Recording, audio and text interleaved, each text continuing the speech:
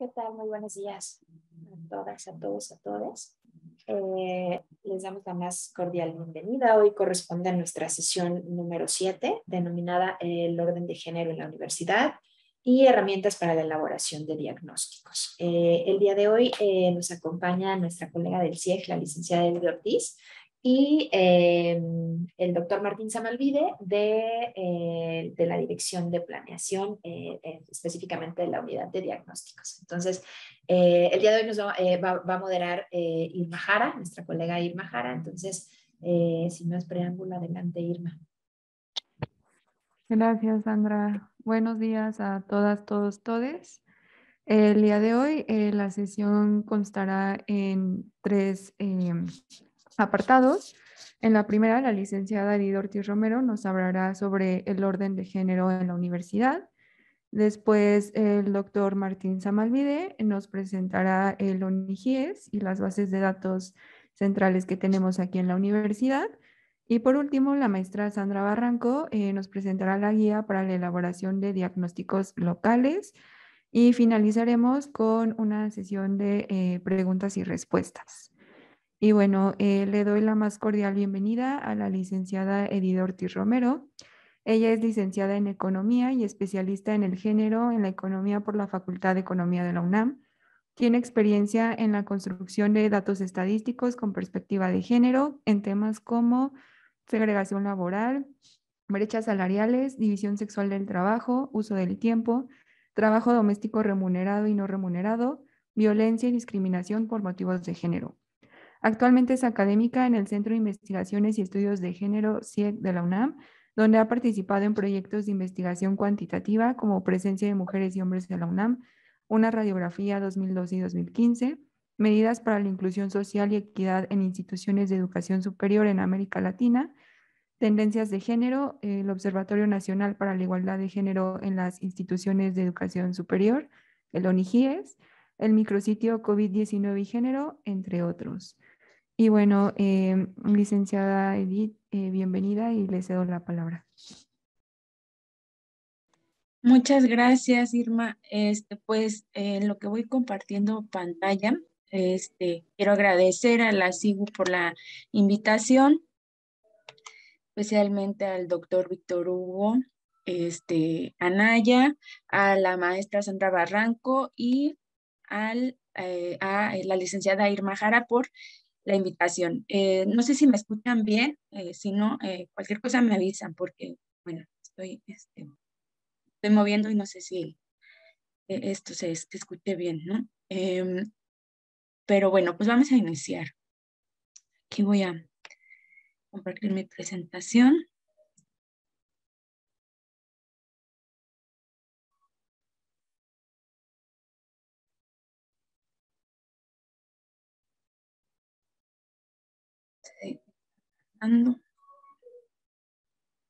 Ahí estamos. Bueno, espero que la estén viendo. Bien, eh, el tema que vamos a abordar el día de hoy, es el orden de género en la universidad. Para eh, poder entender lo que es el orden de género, eh, tenemos que recordar nuestros, seguramente nuestros cursos pasados, en el cual tocaron los temas, el tema sobre la diferencia de sexo y género, ¿no? Y recordemos que el sexo eh, está eh, relacionado más con lo, eh, lo que es, pues, lo físico, ¿no? lo biológico, que tiene que ver con los genes, los genitales de las personas. Por, por todo lo que esté relacionado con esto, pues se le dio dos nombres, el sexo eh, mujer y el sexo hombre. Eh, eso pues ya lo vieron eh, con más profundidad anteriormente.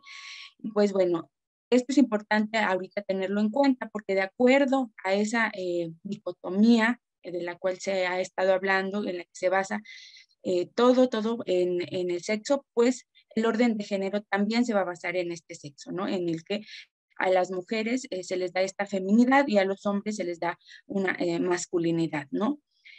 Eh, esta dicotomía, esta división va a estar presente en todas en todos los comportamientos, en todas las situaciones en las que las personas van a, pues se podría decir que se les un mandato, se les indica cómo es que se tiene que comportar, cómo es que se tiene que vestir, cómo es lo que se tiene que hacer, qué se tiene que pensar, etcétera, con todos estos roles, estereotipos de género. Pero no solamente esta eh, orden, esta eh, estos mandatos se van a dar en lo individual, ¿no? Eh, vieron que, este, de acuerdo a, si eres hombre, tienes que cumplir con ciertas masculinidades, y si eres mujer, con ciertas feminidades, ¿no? Y entonces esto puede ser en lo individual. Pero el orden de género lo que nos dice es que esto también tiene que ver con lo social, ¿no? Es como también hay una eh, interacción, sociabilización, en el cual también este, el, se tiene que comportar las personas de acuerdo a su sexo, ¿no? A su sexo asignado. Entonces, eh, nos habla, por ejemplo, Bouquet nos dice, pues el sistema, e, el orden de género es un sistema de organización social que produce de manera sistemática eh, relaciones de jerarquía y subordinación entre hombres y mujeres, en el que convergen todas las dimensiones de la vida humana a través de las interacciones muy complejas es la manera en la cual se ordena la sociedad a través del género.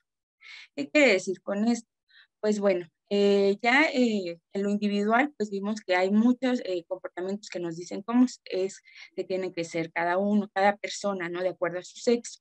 Entonces, también nos dice que cómo tenemos que interactuar, cómo tienen que ser las relaciones, pero aquí hay dos ahora sí que dos eh, componentes importantes que tenemos que tener en cuenta.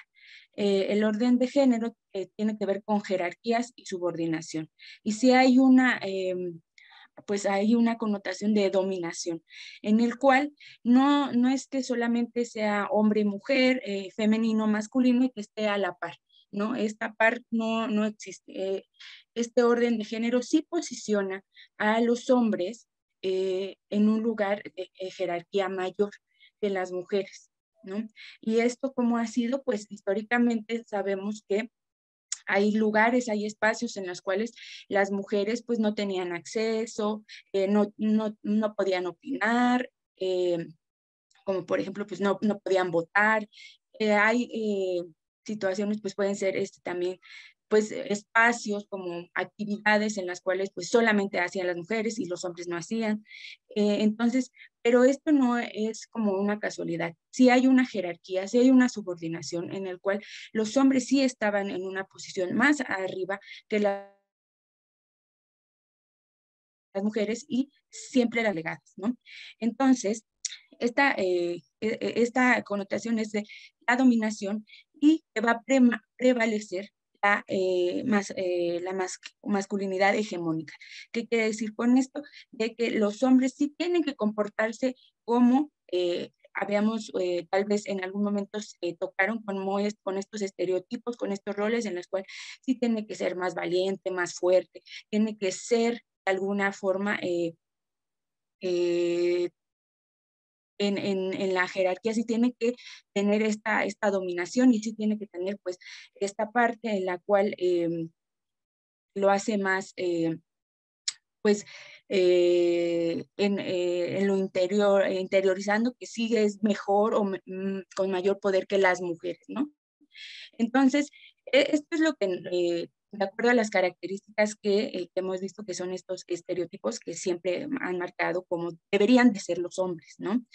Entonces, de aquí es que eh, no solamente van a salir a interactuar y entonces pues ya eh, todo va, va, a estar bien, ¿no? Sino que sí aquí empieza a ver pues que con estas interacciones y con este, como va a prevalecer este tipo de em, eh, de estereotipos en, las personas, pues eh, las relaciones eh, van a ser este, desiguales, ¿no? Aquí puse, por ejemplo, una, una imagen que me parece que, o sea, no es como eh, no, no, no refleja pues como todo lo que es el orden de género, pero sí quisiera que vieran que el orden de género son esos dedos que ponen a las personas en lugares, en lugares y esta pirámide es como de jerarquía, ¿no? Y a quien pone arriba pues es a los hombres, a los hombres que ejercen estas masculinidades establecidas, ¿no? A los que sí están eh, cumpliendo con, esa, con esos mandatos. Y a las mujeres pues las pone en esta parte de abajo, ¿no? Y eso es como donde ya interactúan y así es como esa eh, interacción en la sociedad, ¿no? Eh, una, una, de las cosas importantes que tenemos que tener en cuenta es que si, si pongamos un ejemplo, si los hombres no cumplen con este orden de género, es decir, con los mandatos de lo que es ser hombre, pues entonces eh, van a ser, eh, se podría decir que como castigados, juzgados, señalados. Eh, pongamos un ejemplo. En una, este, mm, no sé, en, una, en un ambiente, em, bueno, pongamos un espacio que fue, es algún espacio público y entonces el, mandato de género, bueno, el, ahora sí que eh, la, la, convivencia fuera, eh, nos dice que en un espacio público, pues podemos decir lo, si una mujer pasa y puede, este, y se nos hace una mujer guapa, etcétera, hay una Ah, hay un permiso en el cual los hombres pueden eh, expresarle algún piropo, eh, ya sea con buenas o malas intenciones, ¿no? Entonces, eh, pensemos que no es con tan buena intención, entonces hacen algún comentario referente a su cuerpo, a que, mm, a, no sé, a su ropa, etc. Esto es permitido porque pues eh, los hombres lo pueden hacer, ¿no? Y entonces están con un grupo de hombres y uno se le ocurre eh, decirle un piropo a, una mujer que va pasando. Eh, ¿Qué pasa con este grupo de hombres, no? ¿Qué es lo que van a responder? Pues usualmente se ríen, hacen más comentarios, este, pueden chiflar, pueden silbar, pueden hacer más, apoyar a esta persona que hace este tipo de comentario. Entonces, eh, esto es una mm, situación en la cual eh, este orden de género dice que pues los hombres tienen permitido eso, ¿no? Tienen permitido eso porque no van a ser juzgados por nadie más, porque no va a quien de ese grupo de hombres decida eh, no seguir esta eh, seguir esta broma o este comentario, pues entonces van a voltear a verlo y decirle, em, ahora las bromas o los comentarios o pueden ser ofensivos van a ser hacia esa persona, ese, hombre que no siguió con esta, eh, eh, con esta broma en la cual permite que los hombres puedan este, y tengan esta libertad en este espacio público de hacer esa broma y dirigirse y molestar a una mujer que puede que sea por su cuerpo, por su forma de vestir, etcétera, ¿no? Sé si eh, esto queda claro, pero bueno, otro ejemplo que es eh, por, eh, en las redes sociales, ¿no? Que cuando se pone o que alguna mujer fue violada,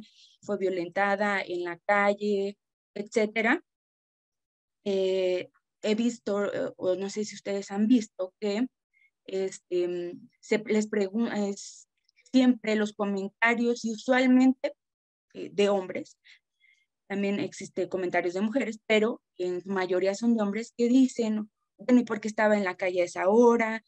¿Por qué iba vestida así?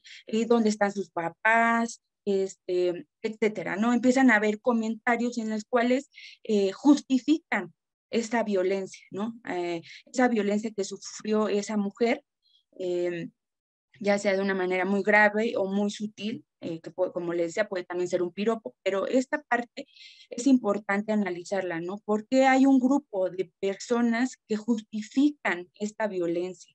Porque este, lo que no cuestionan es el hecho de la violencia? ¿Por qué no cuestionan de que no esa ese hombre, ese grupo de personas no debió de violentar, no importa la hora, no importa si fue una fiesta, no importa si eh, iba sola, etcétera, sino em, cuestionar el hecho y eh, manifestar que está mal.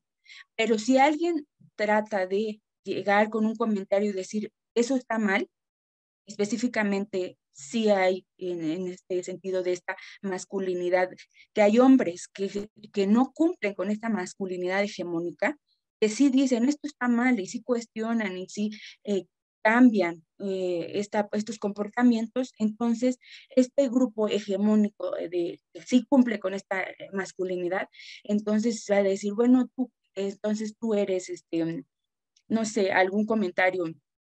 Eh, ah, entonces tú, tú eres maricón, tú eres esto, o sea, empiezan ahora a atacar a esa persona que no está cumpliendo, ¿no?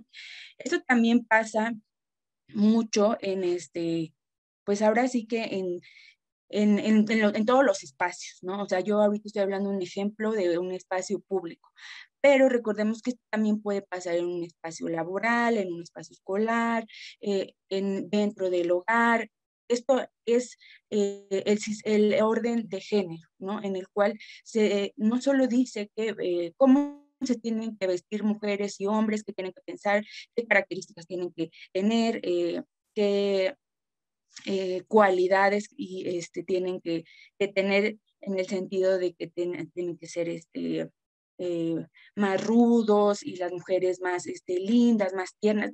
No solo es eso, eh, el sistema de esto, eh, del sexo, no solamente nos dice eso, sino también es cómo nos vamos a sociabilizar y cómo nos vamos a comportar en los espacios, ¿no? Entonces, entendamos que este orden de género va a marcar eh, y si ustedes voltean a ver sus espacios laborales, sus espacios académicos, en donde ustedes conviven, pónganse a, a, ver cómo es que este orden de género es el que está ahí presente, ¿no? Hay muchas personas que ya son muy conscientes y van cambiando y van saliéndose de, esta, de estos mandatos, pero hay muchas que lo siguen, ¿no? Y eh, y como les decía, quien, quien se atreve a salir de estos mandatos, pues entonces sí eh, van a ser señalados, ¿no? Eh, y van a ser, eh, pues hasta cierto punto también relegados, ¿no?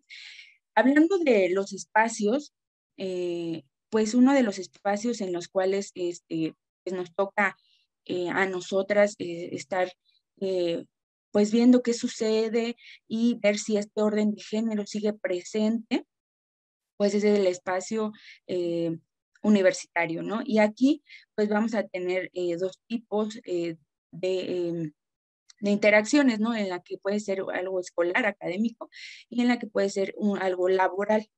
Entonces, para ver qué está pasando en la universidad, ahora sí que exactamente en la UNAM, necesitamos hacer un diagnóstico.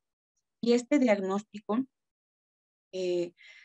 pues este, es la base para poder conocer la situación en la que se encuentra una dependencia administrativa o entidad académica. Eh, nos va a permitir identificar problemáticas y o avances en materia de igualdad de género. Esto es, em, como sabemos, la universidad, eh, la UNAM es tan grande que tiene diferentes campus, tiene diferentes dependencias, entidades, en las cuales pues eh, tienen eh, diferentes también funciones, ¿no? Entonces, un buen diagnóstico de la universidad tiene que tener todos estos elementos y tenemos que ver qué está pasando en cada uno de estos espacios. Eh, una de las herramientas eh, para poder hacer un diagnóstico, pues, es, son las estadísticas e indicadores de género y las estadísticas de género son una representación numérica de hechos que se ubican en el tiempo y el espacio y desempeñan un papel importante en la eliminación de estereotipos, en la fórmula de políticas y en el surgimiento para el logro de la plena igualdad entre hombres y mujeres. Eh, uno de los em, elementos para poder hacer eh, un diagnóstico es ver eh, la eh, ahora sí que con datos duros qué está pasando en la universidad, ¿no? Em, pero es importante señalar que ahorita pues, yo les voy a mostrar algunos datos, pero nunca dejar de lado que también la información cualitativa es importante. Así que vamos a tener que complementar esta información con con investigación eh, cualitativa para poder eh, tener un mejor acercamiento y un mejor diagnóstico sobre eh, qué está pasando en la universidad.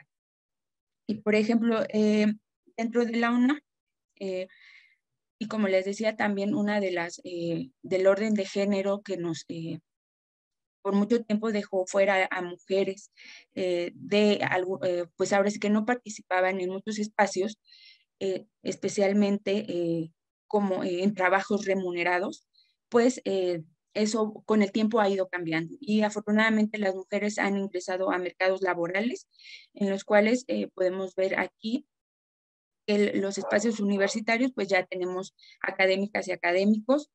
Eh, esta gráfica es de 2020, en la cual podemos ver que eh, la, la, población académica se compone por el 45% de mujeres y el 55% de hombres. Hasta este punto podemos decir que, bueno, la universidad eh, le está dando acceso a mujeres y hombres para poder ingresar a hacer una carrera académica, ¿no? Sin embargo, es importante que eh, no solo en, algún, en los diagnósticos veamos los datos, eh, los primeros datos. Hay que siempre ir hacia adentro porque es ahí donde podemos encontrar algunas desigualdades.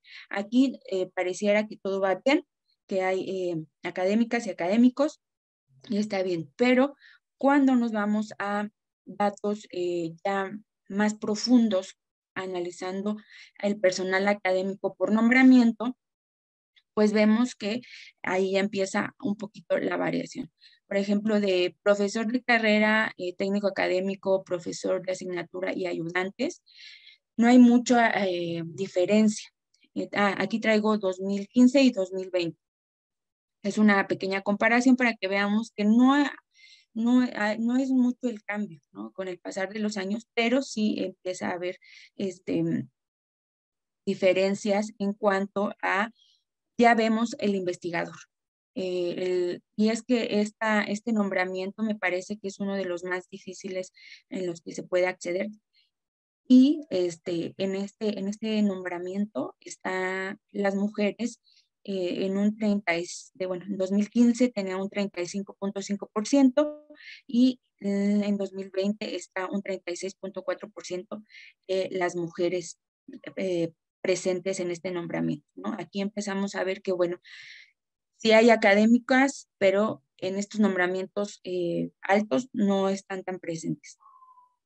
Cuando hablamos de categorías, cuando es asociado y, este, el otro que es titular, pues eh, también asociado dentro del nombramiento de investigador, asociado este, es menor que cuando vemos en la titularidad, pues eh, tenemos un, ah, esto es de 2015, la titularidad en 2015 estaba para las mujeres, solamente tenía la presencia del 33% de las mujeres. Em, y pues por último, cuando vemos este mismo nombramiento em, por categoría y nivel, vemos que está eh, el titular A, titular B y titular C. Eh, a pesar de que eh, este es un nombramiento y una categoría alta, el más alto pues sería el titular C y es ahí donde encontramos una brecha mayor. Aquí vemos que eh, son el 71.8% hombres frente al 28.2% de mujeres, que está presente en estos obtiene, eh, puede obtener y ha obtenido este nombramiento, categoría y nivel. Entonces, eh, eh, todo este desglose es para que en un diagnóstico no solamente nos quedemos con el dato, el primer dato que encontremos, sino que hay que empezar a indagar qué es lo que se va encontrando y qué, qué es lo que podemos, eh, dónde podemos, dónde existe desigualdades, ¿no? No es forzar, simplemente no es, no es solo quedarnos con eh, una primera lectura, sino que siempre hay que ver, eh, porque em, hay que ver si hay alguna desigualdad y qué hay en este fondo, ¿no? Y estas desigualdades y esta presencia de em, em, la baja presencia de mujeres en estos nombramientos, categorías y niveles, pues eh, hemos estudiado y pues tiene que ver también con un trabajo que pues se ha llamado esta doble presencia, ¿no? En esta parte en la que tienen que, que trabajar algunas este, eh, investigadoras en, también en el hogar, este, tienen que cuidar hijos e hijas, eh, hijes, eh, pero eh, hay, hay, una explicación de por qué está pasando esto, ¿no? Entonces, pero bueno, este, los datos hasta este punto solo nos da esta información y ahí vemos que pues hay brechas por cerrar todavía en esta materia de nombramientos y el acceso a, a altos categorías y niveles. Em, las personas que pueden acceder al SNI, pues eh, también nos, nos da una buena información en el cual, eh, por ejemplo, en 2020, em, tenemos que en, el nivel 1, pues eh, pareciera que ahí hay un porcentaje no tan dispar, pero ya cuando se sube a nivel 2 y a nivel 3, eh, pues aquí hay, varias académicas y académicos que saben lo que implica tener este, estos niveles de SNI, el trabajo, la producción, el tiempo, todo, todo lo que implica, pues esto es aquí cuando se abre esta brecha, ¿no? Y entonces aquí vemos que el 26% de mujeres eh, obtuvo eh, el, el SNI en nivel 3 y el 74% eh, los, eh, los, que lo tienen en el nivel 3 son hombres, ¿no? Entonces, aquí también hay, una explicación y de esa explicación pues tenemos que ver qué está pasando, ¿no? Con la producción, por qué no se alcanza a cumplir estos requerimientos, por qué es que las mujeres siguen en, esta parte de seguir, eh, no estar, eh, no obtener estos niveles tan altos, ¿no? Y bueno, eh, pero bueno, estos son hasta ahora solamente los datos y que son importantes eh, tener presentes en un diagnóstico que está pasando en la población académica. Otro tipo de análisis que se pueden hacer para la población académica, pues es eh, la, em, ver también quiénes están obteniendo PRIDE, PEPASING, otros estímulos y reconocimientos. Em, si hay algunas brechas salariales, eh, no precisamente por eh, el tabulador, sino que por precisamente por estos estímulos y reconocimientos, eh, si hay brechas salariales, también por áreas de conocimiento, la presencia de mujeres, recordemos que es baja en algunas áreas de conocimiento como las STEM. Entonces, estos puntos son importantes para poderlos analizar en un diagnóstico. En la población estudiantil, eh, tenemos que eh, hay eh, carreras que nosotras llamamos como masculinizadas o feminizadas, en el sentido de que tienen mayor porcentaje de mujeres o de hombres. Entonces, por ejemplo, en este ciclo 2019-2020, las que tienen mayor porcentaje de mm, hombres siguen siendo las ingenierías. Ingeniería mecánica, eléctrica y electrónica, mecánica eléctrica, ciencia de datos, ingeniería en computación, ingeniería mecatrónica.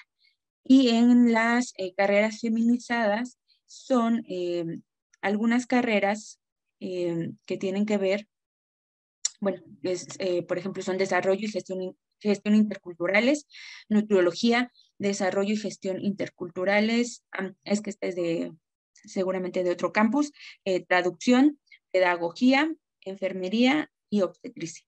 Entonces, eh, estas carreras, em, pues, eh, siguen teniendo, por un lado, eh, mayor participación o el ingreso de hombres y, por el otro lado, ingreso de mujeres. Si lo ven y si lo pensamos, solamente sacamos por porcentajes, pero si las vemos, bueno, los nombres o tal vez vemos sus programas, entonces estaremos viendo que efectivamente se sigue aquí eh, reproduciendo esta parte en la que las mujeres están presentes en, carreras que tienen que ver con cuidados y los hombres pues más en esta parte de esta, esta eh, esto que nos han hecho pensar que los hombres tienen más eh, capacidades para poder estudiar estas áreas de, de, conocimiento de eh, científicas y de matemáticas, ¿no? Entonces, aquí pues vemos que es un fenómeno que se sigue presentando en la universidad y por esta razón pues es importante seguir teniendo los datos para ver cómo avanza y ver si hay algún progreso en el cual eh, podamos eh, ayudar a que las mujeres puedan estar en todas las carreras y los hombres de igual manera ingresar a cualquier carrera sin ningún eh, estereotipo o prejuicio, ¿no? Que tenga que ver con esta parte que hablábamos de, em, de este orden de género, ¿no? Em, bien, otro, ah, bueno, pues nosotras utilizamos un índice de feminidad en el cual eh, lo que ponemos es la cantidad de mujeres entre la cantidad de hombres por 100, en la cual, por ejemplo, aquí la carrera de ingeniería mecánica nos da un índice de feminidad de 10, lo que se lee que por cada 100 hombres hay 10 mujeres estudiando esta carrera. Y por eh, el ejemplo de las, eh, en, pedagogía sería, eh, tenemos un índice de feminidad de 470, el cual nos dice que por cada 100 hombres hay 470 mujeres estudiando pedagogía. Entonces, esto también puede ser un, un indicador que eh, pueden utilizar para, para, un diagnóstico en la cual nos dimensiona eh, cuántas eh, personas, bueno, cuántos hombres hay por cada, bueno, por cada cantidad de mujeres. En el, en, el, personal administrativo también, pues nuestro dato es de 2015, pero les puedo compartir que encontramos que, por ejemplo, la forma de contratación en el personal de base. Ah, bueno, aquí en lo general y podemos ver que, ver que el personal administrativo estaba integrado por 49.7 mujeres y 50.3 hombres. Entonces, otra vez, el dato eh, aquí vemos y no hay ninguna eh, desigualdad, no, no vemos ninguna asimetría, ¿no? Pero cuando indagamos, vemos que el personal de base en la rama obrera este, ahora sí que quienes están contratados en esta, en esta rama, en eh, ahora sí que los puestos de, de carpintero, cerrajero, electricista, albañil y herrero, el 100% eran hombres. Entonces aquí se vuelve a, a ver marcado que están ahí, vuelven a estar en esos lugares eh, los hombres, ¿no? Y en el personal de base de la rama administrativa, en los puestos eh, con más mujeres, eh, son oficinista de servicios escolares, secretaria y telefonista. Es ahí donde encontramos que están más, eh, con, pues están contratadas en mayor porcentaje las mujeres. Volvemos a lo mismo, así hay una, eh, ahora sí que se vuelve a cumplir esta parte en la que hay espacios que siguen siendo de hombres y espacios que siguen siendo de mujeres. Em, otra em, forma también de eh, evaluar qué está pasando en la universidad es ver quiénes están en, en los puestos de toma de decisión. Eh, vamos desde, eh, pueden ser jefaturas, pueden ser, este, pues ahora sí que los rangos, que quiénes son los que toman decisiones, ¿no? Pero podemos analizar todo eso, pero bueno, nosotras solamente hicimos esta, este pequeño conteo de decir quiénes están en dentro del organigrama de la UNAM, quienes están en este, quienes son directo, directivos y este, secretario, secretarios y secretarios generales. Eh, eh, eso es, eh, nos basamos en el organigrama de 2021 y ahí contamos quiénes están en estos puestos de toma de decisión. Es como nada más un panorama general. Entonces vemos que el este, 31% eh, ah, bueno, aquí lo separamos por entidades académicas, eh, que hay 108 mm, eh, entidades académicas, las contamos en el organigrama, y de esas 108, 33 mujeres están en estos puestos de toma de decisión y 75 hombres. Y en las dependencias administrativas, por ejemplo, em, tenemos que son 61 y 42 hombres están en estos puestos este, en comparación con 19 mujeres que son las que están únicamente en estos puestos. En general, pues tenemos 169 este, entidades y dependencias y este, solamente hay 52 mujeres en estos puestos de toma de decisión, en comparación con 117 hombres que representan este, eh, casi 70%. Entonces, aquí también hay que ver eh, por qué razón las mujeres no están accediendo a estos puestos de toma de decisión. ¿Hay alguna, em, alguna em, estrategia en la cual se puede incidir para que más mujeres ingresen, eh, que hay que, por ejemplo, los horarios, la carga de trabajo, etcétera. ¿Cuáles eh, son los factores que impiden que las mujeres estén accediendo a estos puestos de toma de decisión y que históricamente los hombres sí hayan estado presentes en estos puestos, ¿no? Em, también tenemos eh, el Observatorio Nacional para la Igualdad de Género en instituciones de educación superior, en la cual es, fue un ejercicio en el que no solo se evaluó cada entidad o dependencia, sino que en general eh, se evaluó eh, la UNAM como institución de educación superior para ver algunos ejes como estaba en igualdad de género, ¿no? Entonces, este, bueno, esto sería nada más así como muy general. Y bueno, en la universidad pues sigue habiendo violencia de género. Eh, es importante pues ver que las personas que levantaron una queja eh, son, esto es del reporte de 2018-2019, las personas que levantaron una queja este, fueron 436 personas, estas fueron, el 99.3% fueron mujeres y las personas presuntas agresoras que fueron 385, el 94.5% fueron hombres. Entonces se sigue aquí marcando esta, eh, sí, diferencia eh, por sexo, ¿no? De quienes están eh, violentando. pues para poder hacer un diagnóstico podemos este, tomar diferentes temas, eh, como es la violencia de género, y también podemos eh, medir diferentes, eh, por ejemplo, los tipos de violencia, las personas agresoras, las personas que son agredidas, las poblaciones, o sea, ver por poblaciones qué está pasando, y también los espacios en los que está ocurriendo esto, ¿no?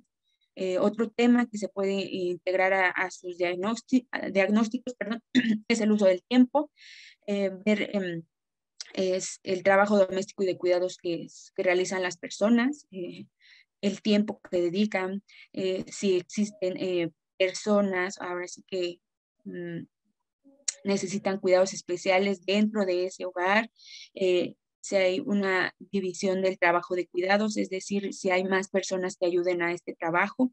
Eh, y usualmente esto eh, sí incide en la productividad de las personas, ¿no? Cuando hay una carga muy grande de trabajo de cuidados en casa, eh, no, se, no se le dedica el tiempo completo a la producción académica, ¿no? Y también a la producción escolar, ¿no? Hablemos de como también de la, de la población estudiantil, pero este, que también puede que existan este, una carga que no se ve y también pues por eso no, no este, mm, eh, los, eh, los y las estudiantes teniendo un, buen rendimiento. Entonces, hay que ver qué está pasando eh, dentro de, de, casa con este trabajo de cuidados y que sí influye en, en esta parte de, de la producción académica y la rendimiento, rendimiento escolar.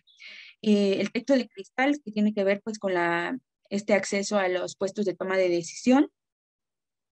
Em, también este, qué está pasando, como les comentaba, para que em, las mujeres no estén accediendo a estos puestos y, este, y si sí, de qué manera lo hacen. Este, es, es, es importante eh, ver que que por mucho tiempo eh, fueron hombres los que estuvieron a la cabeza eh, de la universidad. Em, las trayectorias académicas y laborales, pues esto que tiene que ver eh, con cada, cada una de, este, como lo comentaba, puede ser este, también el trabajo que hay de cuidados, también qué es lo que está impidiendo que se acceda a reconocimientos, a, eh, se suba de nivel en el PRIDE, eh, etcétera, ¿no? Si hay una, eh, una brecha en el cual este, tiene que ver con algo personal o si hay, por ejemplo, sesgos en las evaluaciones la, del personal académico que hay que no están tomando en cuenta. Eh, por ejemplo, ahorita en la pandemia pues fue muy evidente que no se pudo tener la misma producción que, que se tenía anteriormente, etcétera. Entonces, este es un diagnóstico. Cuando se hace un diagnóstico muy a profundidad, tendríamos que tomar pues uh, estos elementos.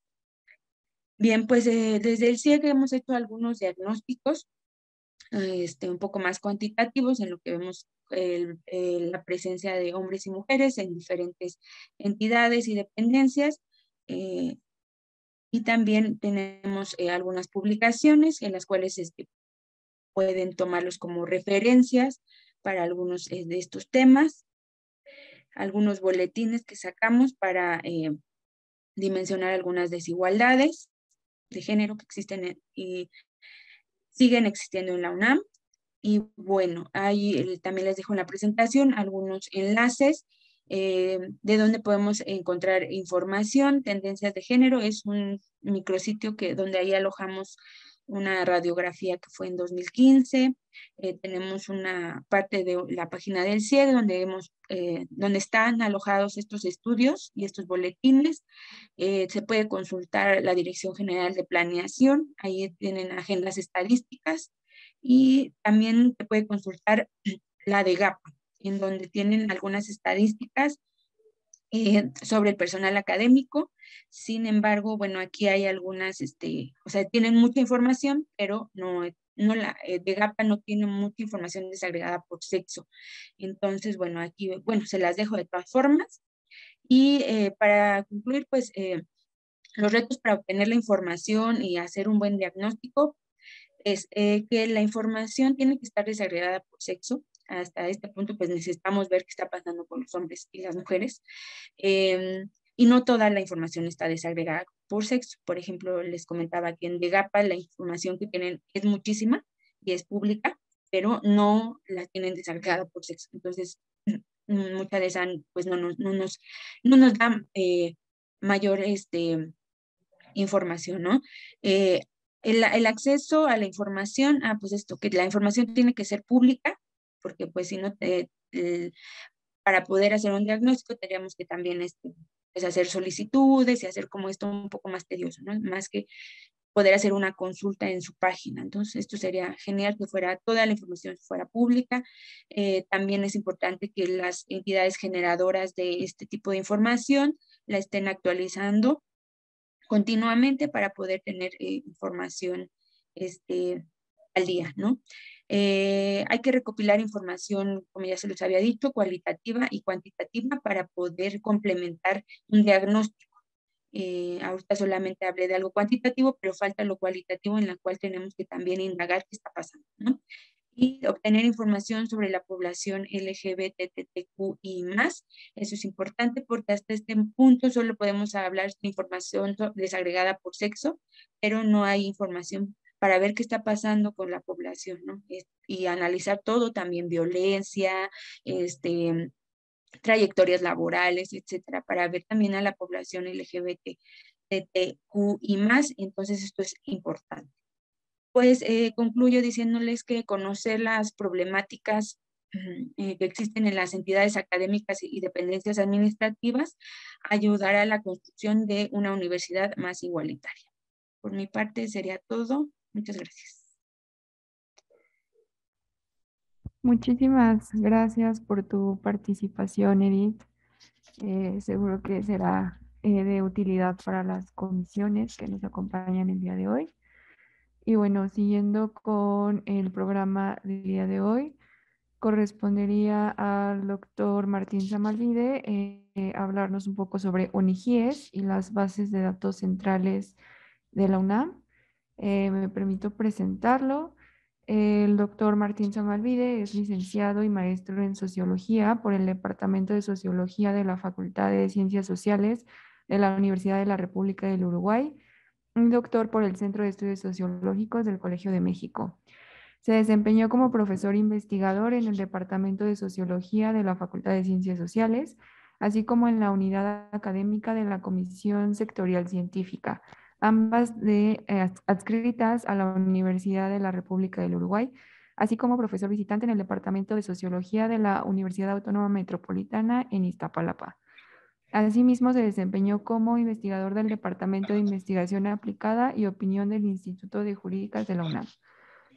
Ha desarrollado actividades de docencia de grado en las licenciaturas de Sociología, Ciencias Políticas y Psicología Social en la Universidad de la República del Uruguay y en la UAM, así como docencia de posgrado en la Universidad Católica del Uruguay, el Centro de Estudios Demográficos Urbanos y Ambientales del Colegio de México, la Facultad Latinoamericana de Ciencias Sociales y la Escuela Nacional de Antropología e Historia y el DIAO del Instituto de Jurídicas de la UNAM.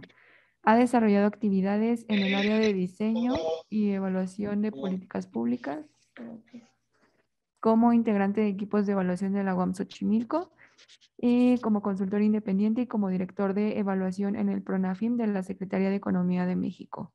Cuenta con publicaciones relacionadas a la conformación de grupos de investigación en el ámbito académico, a los procesos de apropiación y uso de las tecnologías de la información por parte de los gobiernos locales y organizaciones de la sociedad civil y el impacto de las nuevas tecnologías en la generación de áreas de convergencia del conocimiento. Y bueno, Martín, sin más, te, te cedo la palabra. Bienvenido. Hola. Buenos días a todos y a todas. No sé si se me escucha bien. Para confirmar que me escucha bien. ¿Sí? Perfecto. Tenemos 20 minutitos y la idea un poco es contarles, de compartir la, la presentación. Ahí se observa.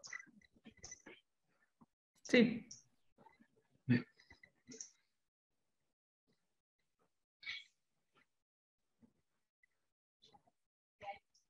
Perfecto. Bueno, la idea un poco en estos 20 minutos que tenemos es contarles lo que es IGES y cómo se ha desempeñado la, la UNEM en relaciones al observatorio y un poco en la segunda parte contarles lo que hacemos en la unidad de análisis diagnóstico, lo que hacemos en general y lo que hacemos para apoyarlos a ustedes con la comisión visitamos en, en desigualdad. ¿Qué, ¿Qué, tipo de insumos les estamos dando y qué tipo de demandas podemos cumplir para mejor, mejorar su trabajo? Bueno, vamos a empezar a hablar del Observatorio Nacional para la Igualdad de Género en Instituciones de Educación Superior, o IGES. Como ustedes ven aquí, es una iniciativa que se llevó adelante. Este... Martín, perdón por interrumpir, pero nos comentan que no se, no se escucha con claridad. Eh, ¿Tu micrófono?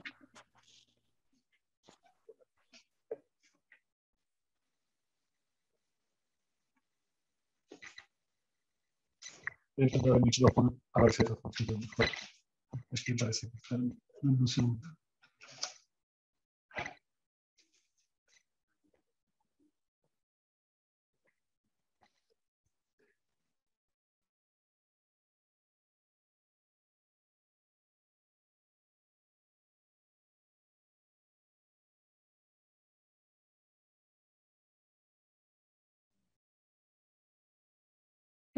te escuchas, Martín. A ver, de nuevo.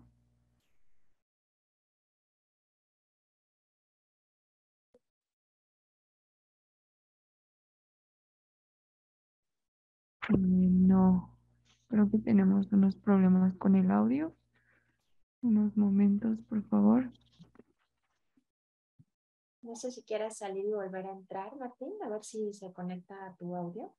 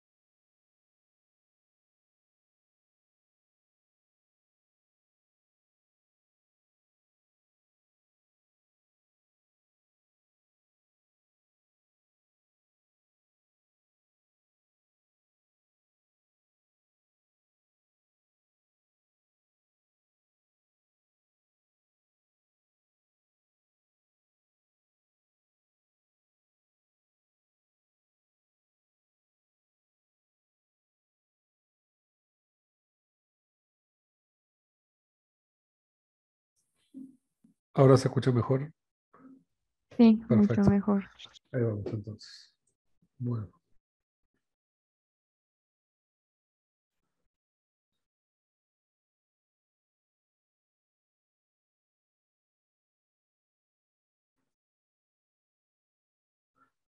Bueno, como les comentaba, el, observatorio es una iniciativa que tiene diversos actores por detrás, como es este, la Comisión Nacional de Derechos Humanos y Mujeres, la, Comisión de Igualdad de Género de la UNAM, el CIE, entre otros.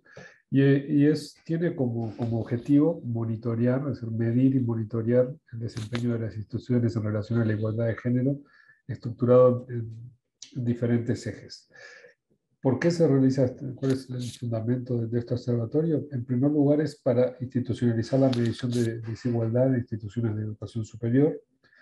El segundo, este, el segundo punto relevante es visualizar la elaboración de planes de igualdad por parte de las instituciones de, de eh, educación superior. Luego, un tercer eje que es central es para contar con información sistemática de la evolución del fenómeno, al mismo tiempo que evaluar o contar con, eh, con, información sistemática del impacto que tienen las acciones que desarrollaron este, las diferentes instituciones. Participan un conjunto significativo de instituciones, ahí no las vamos a, a ver una a una y tienen algunas este, de todas en general son las instituciones más importantes en el sistema de, investigación superior de, México, aunque bueno, eso también podríamos hablar, involucra ciertos... Eh, ¿Cómo se estructura esta medición del, observatorio? Se estructura en ocho dimensiones o ejes analíticos a través de los cuales la, desigualdad se hace observable. Y estos básicamente, estos ocho ejes, el primero tiene que ver con la legislación este, con perspectiva de género, lo que tiene que ver con la normatividad de los órganos de igualdad, los planes de igualdad de género los recursos financieros destinados por las instituciones. En segundo, lo que tiene que ver con la igualdad de oportunidades eh, en relación a la población estudiantil, al personal administrativo, al personal académico y a las autoridades que se conforman en cada institución. El tercero tiene que ver con la corresponsabilidad familiar este, en términos de las actividades de cuidado dentro de las instituciones. Un cuarto tiene que ver con el diagnóstico, las estadísticas y los diagnósticos con perspectiva de género con los que se cuentan en, las instituciones. Esto tiene que ver con bases de datos, informes este, y otros diagnósticos este, que toman la, desigualdad de género como objeto. El quinto tiene que ver con el lenguaje incluyente y no sexista. El sexto con la sensibilización en género, que esto fundamentalmente tiene que ver con la educación en igualdad. El séptimo, con la presencia de investigaciones y estudios de género en las instituciones, cursos curriculares de grado y de posgrado y las líneas de investigación en relación a las perspectivas de género. Eh, y el octavo tiene que ver con la no violencia de género, es decir, qué actividades se han realizado para la atención de casos de violencia de género y actividades de, de prevención en ese eje. ¿Cómo se estructura la metodología del observatorio? Eh, hay que dar respuestas a 53 preguntas en un primer, en una primera relevamiento, luego se, desarrollaron 10 más complementarias para el relevamiento del 2020, asociadas a este, los ejes referidos y para ello hay que dar medios de verificación, no solo contestar la pregunta, sino aportar la documentación en la cual se, se sustenta la respuesta. La carga se realiza en el portal de IGES, y se calcula el nivel de avance eh, del 1 a 5 por cada institución participante. Van a tener un ranking este, que ubica a la, institución eh, en general y en cada una de sus dimensiones. Y luego hay un informe final que muestra el grado de avance de todas las instituciones que participan en el relevamiento. Esto los invito a entrar al sitio si les interesa, porque tiene una, una interfase muy, muy interesante y muy, muy cómoda para, para trabajar y hacer las consultas de las diferentes instituciones. La frecuencia es anual, es decir, el último año, el, año más antiguo disponible es el 2017 y ya están disponibles los datos para el periodo este, 18-20. Le decía, las limitaciones que tiene el tipo de medición básicamente tiene que ver con la cobertura, ¿sí? porque hay un sesgo en, el tipo de instituciones que, que, participan. Como, como vimos en el listado, son las más grandes este, y las más significativas, porque sabemos que el sector de, instituciones terciarias en, México es mucho más diverso, mucho más grande. ¿Cómo se, cómo se puede observar? Entonces aquí tenemos este, la posición de la UNAM en la última medición. Y acá pueden ver cuál es el promedio de las instituciones que participaron y cuál es el puntaje que tiene la UNAM en cada, en cada una de, las dimensiones este, de estudio. Ahora vamos a, vamos a entrar a, a, cada una de estas dimensiones. ¿Cuál es el desempeño de la, de la UNAM? Acá lo que hicimos, vamos a ver el índice global de, de la UNAM comparado este, el promedio de puntaje que tienen las instituciones, el promedio de puntaje que tiene la, la UNAM y en la línea gris vemos el, lugar del ranking que, que, se ubica en cada una de las mediciones, 2017, 2018, 2019 y 2020. Como pueden ver, este, el comportamiento de, de, la UNAM a lo largo del periodo es, eh, digamos, en su puntaje hay un nivel de avance, sobre todo en el, en el último periodo, Así se puede observar que arranca en un puntaje de 2.4 la UNAM al principio, de las mediciones del 2017, llegando hasta un 3.3 en el 2020. Como ustedes pueden ver, el nivel de avance que tiene la UNAM, el puntaje en general, como ven arriba, la ubica entre los primeros puntos del ranking, tercero en el 2017, cuarto en el 2018, cuarto en el 2019 y de vuelta tercero en el 2020, donde siempre están en los puestos altos. Y si ustedes comparan la tendencia general del conjunto de las instituciones participantes, que es la línea sur, y la UNAM, lo que pueden ver es que hay un nivel de avance de la UNAM mayor con respecto al promedio de las instituciones participantes. ¿Cómo se, se desglosa eso en las diferentes dimensiones que observamos en la, en la presentación, en los ocho ejes? Primero vamos a ver la legislación con perspectiva de género. Acá pueden ver el nivel de avance. Eh, siempre ponemos el promedio de las instituciones que participan para tener una referencia, no solo comparar la UNAM con sí misma, sino con el conjunto de instituciones participantes. Y acá podemos ver que al final del periodo la UNAM se ubica en un puntaje del 3.6 frente al promedio de las instituciones participantes que es 1.6. En el conjunto de las instituciones ven que el nivel de avance en este eje es bastante, este, bastante tímido, bastante reducido. En el caso de la MON sí se, se nota un promedio de avance este, superior, ¿no? que pasa de 2,9 a 3.6, aunque si ustedes ven el, donde inicia la medición, tenía un puntaje este, medio este. En relación a corresponsabilidad familiar, Aquí vemos el conjunto de las instituciones, este, tiene un, nivel de, puntaje muy bajo, pasa de 0.6 a 1.1 durante todo el periodo. Y si analizamos el desempeño de la UNAM, podemos observar que en el 2017 ah, inicia con un puntaje bajo, digamos, tiene un nivel cero a nivel de indicador, y hacia el final del periodo podemos observar que tiene un promedio de, de 2, este, de tiene un comportamiento de 2.8 bastante con una diferencia bastante significativa con respecto a el promedio de las instituciones este, participantes. De todos modos es interesante observar que es una de las dimensiones que en el conjunto de, de participantes del observatorio es la dimensión con menor puntaje y con menor nivel de avance durante todo el periodo. Eso también se diferencia la UNAM, aunque el puntaje final que tiene la UNAM se ubica en un rango medio. ¿no? Es un área, una dimensión para, para trabajar y, y, mejorar el, el, desempeño. Luego lo que tiene que ver con estadísticas con enfoque de género, a nivel de conjunto de las instituciones, este, ustedes ven que prácticamente en todo el periodo 17-20 ha habido un nivel de, de avance reducido le llamaba la atención que, que, baja en el 2018, por eso tiene que ver porque la base de instituciones participantes varía en el periodo. A veces tienen esos comportamientos este, extraños. Y cuando observamos la UNAM, podemos este, ver cómo, cómo aumenta, este, casi un 100% de 2017 al 2020, aunque todavía el valor final de esta dimensión, el indicador de la UNAM, está en un rango medio. Esto tiene un poco que ver con lo que les platicó Edith eh, que me precedió sobre que todavía hay buenos informes sistemáticos de la UNAM, este, de algunas direcciones, todavía no incorporan habitualmente los datos desagregados por, sexo. Todavía es una carencia que tienen nuestros, indicadores.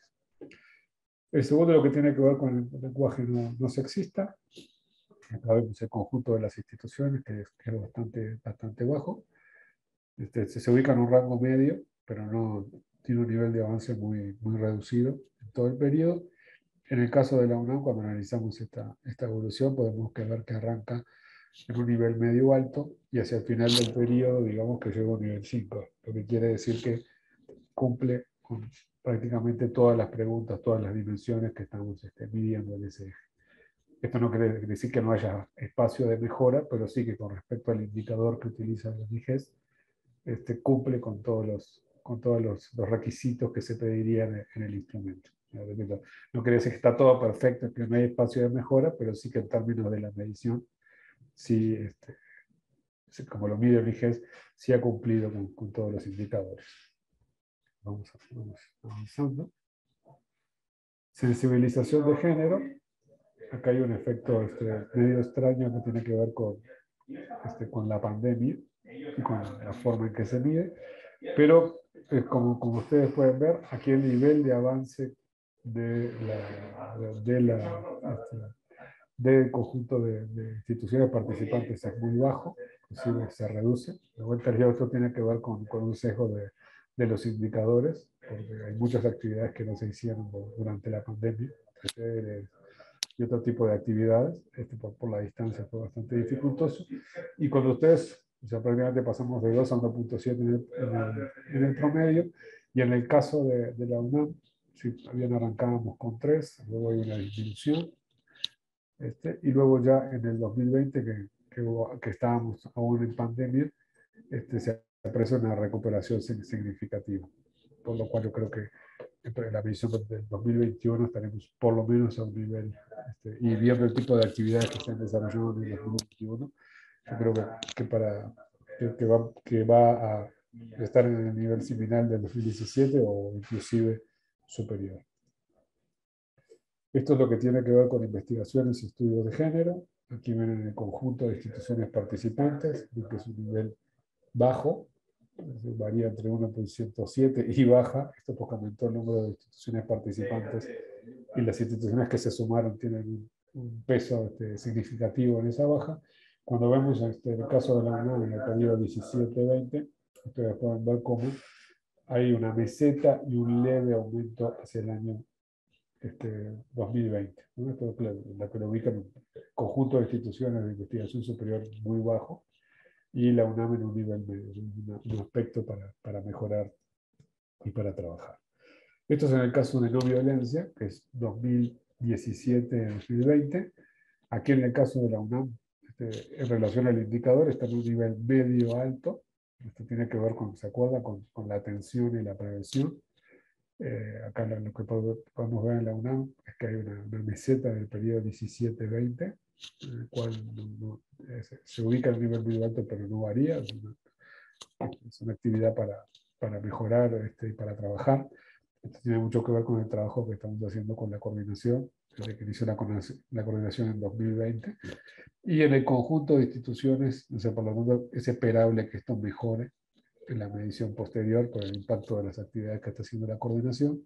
Y en el caso del el conjunto de instituciones, vemos que dentro de las dimensiones que se registra un, aumento muy significativo, desde niveles bajos en el promedio a niveles este, medios.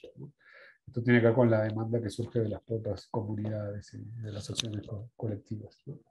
Pero igual el conjunto de instituciones este, se busca en un nivel medio, lo cual es preocupante dado la relevancia del problema. Y en el caso de la UNAM, si está en un nivel medio alto, este, está como estabilizado. Es necesario mejorar ese desempeño. Esto es un resumen de la posición que tiene la UNAM en el ranking. Acá se lee al revés, cuanto más bajo este, el histograma, mejor.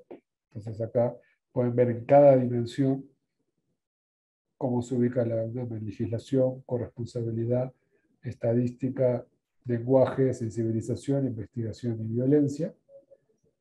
Entonces acá lo que podemos apreciar es que la UNAM tiene un mayor desempeño en lo que tiene que ver con legislación, con prevención de la violencia, con investigación, con lenguaje inclusivo, pero tiene un desempeño no tan bueno en algunos ejes como tienen que ver fundamentalmente con eh, la sensibilización y este, otras actividades. Generalmente estás entre los primeros puestos, como vimos, pero bueno, nos, permite ver cómo se ubica este, la UNAM en el ranking frente al resto de, instituciones participantes. ¿no? te, marca de alguna manera las áreas de oportunidad o las áreas que deben ser prioritarias. ¿no? El, número que está aquí en el vector es el número que, se ubica en el, ranking en cada dimensión. Eso es lo que tiene que ver con, con ONIGES. Un recuento general, porque tengo muy poquito tiempo. En realidad, cuando nosotros analizamos el desempeño de las instituciones participantes, ahora paréntesis digo instituciones participantes porque es de suponer que las que no participan deben tener indicadores peores en relación a lo que se está midiendo. Lo que vemos que el conjunto de las IES tienen un valor muy bajo en el indicador global de eh, igualdad de género y no se registra un avance muy significativo del indicador general en el periodo. Cuando vemos el conjunto de las instituciones de educación superior, vemos que se registran valores particularmente bajos en los ejes de corresponsabilidad y estadísticas, de diagnóstico, estadísticas y diagnósticos de género. Eh, son dos áreas muy complejas, pero sin embargo esta sería más fácil de trabajar porque las estadísticas y los diagnósticos, porque implica hacer investigaciones concretas, generar áreas, direcciones y generar o procesar los indicadores que, con los que cuentan con perspectiva de género. Por otro lado, la corresponsabilidad vemos que es una dimensión mucho más compleja para trabajar porque implica cambiar legislaciones, generar políticas y en muchos casos hasta desarrollar infraestructura de, cuidado. Como yo les decía, en el caso de la, de de UNAM se ubica entre las, entre las instituciones de educación superior con mayor puntaje en el índice y se ve un aumento moderado en el periodo. Sí hay un cambio mejor, pero no es un cambio dramático. El mayor avance se registra en el 2020, como vimos en las gráficas, si ustedes recuerdan, y nosotros consideramos que esto tiene mucho que ver con la creación de la CIBU, que desarrolla políticas específicas en cada uno de los ejes. Por eso, fíjense que en 2020 la, la CIBU se, crea a principios de año, recién se consolida como, organización e institución, con sus recursos humanos y todo eso, a, fin de, a mediados, fines del 2020. Por lo tanto, es, este, es dado, dado esperar de que cuando terminemos de, de medio 2021, va a, ser, este, va, a tener un desempeño mejor. Los ejes donde, donde vemos mayor posibilidad de mejora en la UNAM, prácticamente todo, pero en orden de, de, de, relevancia, donde hay que mejorar más, son el de corresponsabilidad en los cuidados, el de sensibilización, el de estadísticas, diagnósticos e investigación con perspectiva de género. Ahí es cuando el indicador de la UNAM tiene un desempeño peor y serían este, áreas para empezar a trabajar y, este, y focalizar. Vamos a la siguiente parte de la presentación. Eso tiene que ver con los, perdón que voy tan rápido, pero me quedan cinco minutos. No, este, perdón que vaya tan rápido, cualquier cosa, si hay alguna duda, me, me pregunta. Esto es la segunda parte. Esto, parte de lo que hacemos nosotros, como yo les decía, con comunidad, es recopilar la información, sistematizarla y cargarla al eh, observatorio, ¿no? hacer ese reporteo.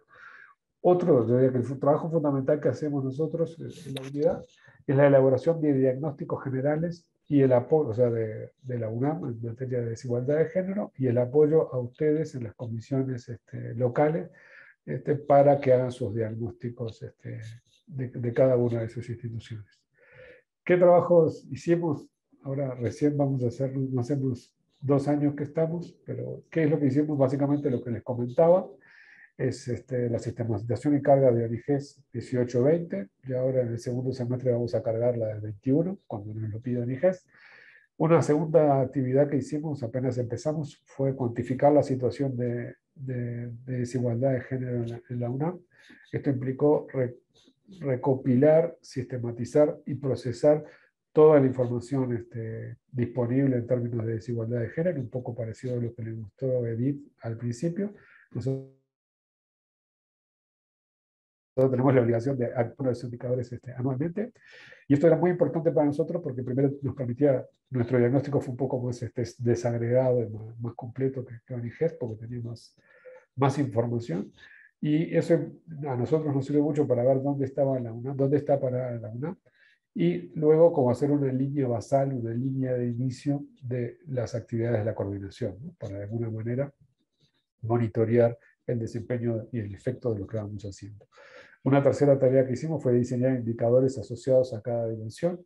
Esto este, está muy vinculado con el, punto anterior para permitir monitorear cómo, cómo, evoluciona la situación con indicadores sistemáticos y fijos.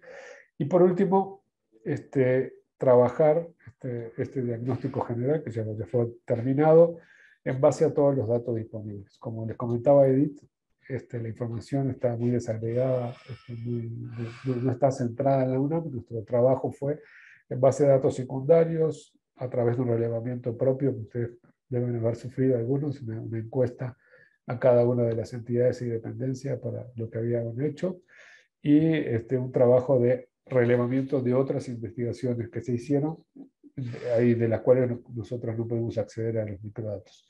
Siempre procuramos este, acceder a los microdatos para este, procesar y nosotros generar nuestros propios indicadores.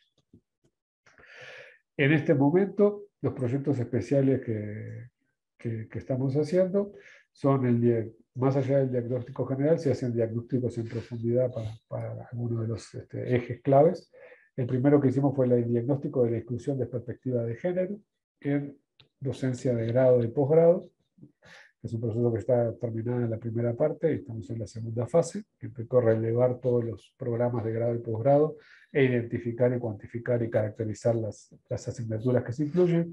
Y el segundo es una caracterización de la violencia de género en la UNAM a través de un análisis de los microdatos de las denuncias de la Oficina de la Abogacía General.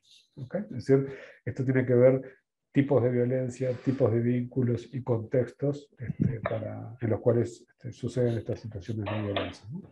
Eso, sobre todo acá, está orientado a la prevención, o sea, a dar insumos de información para que la institución desarrolle políticas y acciones más focalizadas basadas en cómo se da el fenómeno. Voy a apurar.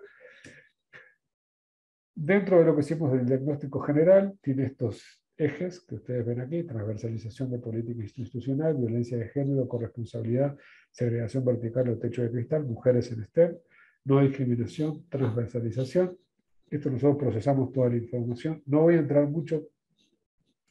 Acá es muy parecido a algunas cosas, lo que ya presentó Edith, son datos del 2000, fines del 2020, en lo que tiene que ver con este, techo de cristal. no, no me voy a detener, ya se me acaba el tiempo estructura de población académica por género, sistemas de estímulos, responsables de proyectos, PIDE, eh, todo lo que tiene que ver con el SD, participación de mujeres en, las áreas en un perfil. todos estos indicadores, no me voy a detener, ya tengo que cerrar, pero esto es toda una información que se cuenta con la, en, la, en la coordinación y que se va actualizando regularmente. ¿Esto para qué les sirve a ustedes? Porque nosotros, ahí sigo pasando, nosotros, en base a contar con esta información y procesarla, lo que nosotros hacemos es, para ahorrarle a ustedes trabajo, es darle los, los indicadores disponibles en la UNAM sobre estas dimensiones, que vemos aquí, para sus instituciones específicas. Entonces, un poco para cerrar, porque ustedes ya la recibieron esa información, para recapitular ese, ese punto, es, por ejemplo, es lo, acá tomamos el ejemplo del, del, Instituto de, Biología.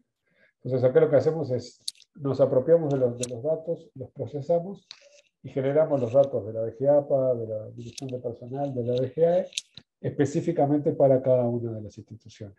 Ahora lo vamos a ver. Y la segunda actividad que hacemos es apoyarlos en cualquier aspecto metodológico que ustedes desarrollen en su diagnóstico. ¿no? Formularios, encuestas, grupos de enfoques, entrevistas, todo lo que tiene que ver con, la aplicación de esas técnicas y el análisis de los resultados. Y para cerrar, este, muy rapidito, este, le damos un ejemplo, por ejemplo, de lo que le dimos al Instituto de Biología, que básicamente, en segregación de vertical, que básicamente son los mismos indicadores que ustedes vieron este, para toda la UNAM o para el área del conocimiento, específicamente para, para, el instituto. Esto es lo que les dimos. la, la, distribución de la, de la población académica, situación contractual, distribución por grado de estudios, tipo de, tipo de cargo, este, más o menos desglosado, miembros del SNI, responsables, etc.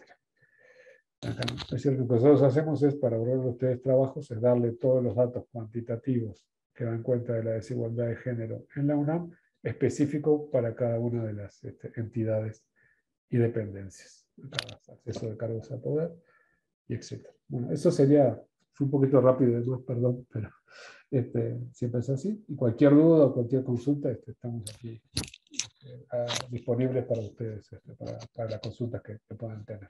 Gracias. muchísimas gracias, eh, Martín. Aprovecho el espacio para darle la bienvenida al doctor Víctor Anaya. Es director de Planeación, Vinculación y Proyectos Especiales de aquí de la SIGO. Y bueno, él nos va a apoyar con la moderación de lo que queda en la de la sesión del día de hoy. Y bueno, abrimos este espacio para eh, preguntas o algún comentario que tengan, ya sea para la licenciada Edith o para el doctor Samalvide. Eh, pueden levantar la manita o ponerlas en el chat.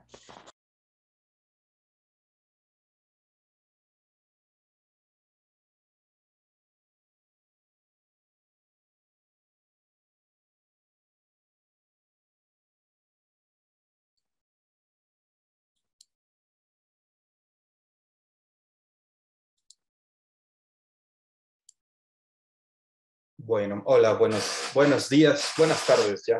Gracias, Irma. Eh, creo que nadie, nadie se anima a preguntar por ahora. Si surgiera alguna después, alguna pregunta después, ya, ya la haríamos llegar a la, expositora y, veríamos cómo, cómo, podemos responder. Eh, en lo que se animan, por si, por si acaso, voy a permitirme entonces presentar a nuestra siguiente ponente, que es la maestra Sandra Barranco García, que me parece ya, ya es conocida de ustedes, pero... Alguien levantó la mano, perdón. Ah, gracias, muchas gracias. María Isabel, adelante. Ramírez. Ay, este, hola. Hola, hola, hola. ¿Qué tal? ¿Cómo estás? Pues bueno, es, es difícil preguntar porque realmente no tengo muy claro cómo estructurar la pregunta porque son demasiadas ideas que se sobreenciman unas sobre otras. Quisiera, a ver si puedo, si, puedo hacerla, eh, ¿cómo, porque se habla, bueno, mucho de este techo de cristal, como si, como, ¿qué, ¿qué idea tienen de, de cómo se, de cómo está construido, o sea, fuera o en, la, en, la, realidad, en la cotidianidad, fuera de todo pues, lo que sabemos de, de, de, de pues este eh, predominancia de, los acuerdos patriarcales. Este, pienso un poco en mi propia experiencia, ¿no? Cuando empecé el, el, doctorado, cuando iba, o sea, pues efectivamente, en mis 20 que tuve esa decisión de, de, formar familia o hacer una vida académica, este, me aventé con las dos a la vez eh, y, y escuché justo cuando hacía mi doctorado una frase que, me, que no se me olvida jamás. Decía eso de, que detrás de cada, detrás de cada gran hombre hay una gran mujer y detrás de cada gran mujer hay un divorcio. Entonces traté de cuidar justamente esa parte eh, familiar, ¿no? Sobre todas las cosas y, y, con este sentimiento de culpabilidad todo el tiempo, de no soy tan buena académica y no soy tan buena madre, no soy tan buena eh, pues con esa culpabilidad.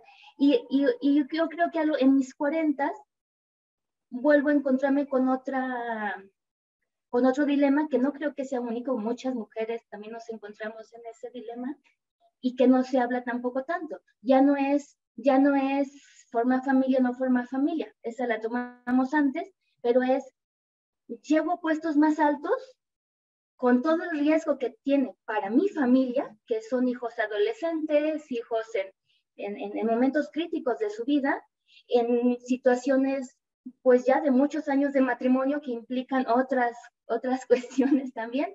Y yo y creo que no tomamos esa decisión. O sea, esto que se refleja en, en los niveles altos de, de, o que no tenemos esos niveles tan altos en, en SNI, en en la categorización de la UNAM, pues a veces sí fue una decisión nuestra, ¿no? De no sacrificar más a una ya sacrificada familia, de, de no competir más con una pareja que a lo mejor se siente, eh, eh, pues, no, no, no digo que agredido, pero incómodo, ¿no? Con que podamos también tener alguna situación mayor este, laboral. Entonces, es otra vez, es una decisión muy difícil de tomar, una decisión que, que tomamos con, también con mucha culpabilidad. O sea, este, yo veo que a lo mejor tendría los méritos cuantitativos para, para ese nivel C, tan, pero, pero no me atrevo ni siquiera a tramitarlo porque digo, no, no le dedico el 100% de mi vida y mi tiempo a la academia, le dedico religiosamente los fines de semana a mi vida familiar. Y, veo o, escucho de mis compañeros que están 24/7, o es lo que dicen hacer, ¿no? Dedicados a, a la academia. Y yo reconozco que no cuenten conmigo sábados y domingos porque tengo familia. Eh, entonces, es una, es una mezcla entre culpabilidad, entre decisiones que efectivamente tomamos, ¿no? Y, y que entonces también me surge la pregunta, efectivamente, en mi experiencia y en la de muchas, es cierto, a veces hay un divorcio atrás de, de esas promociones y esas cuestiones. Entonces también me gustaría sí, que saber qué hay atrás de todos esos hombres exitosos. Hay verdaderamente todo una familia que apoya para que para ese desarrollo de, esa persona que también repercute luego en un ingreso y en otros beneficios familiares.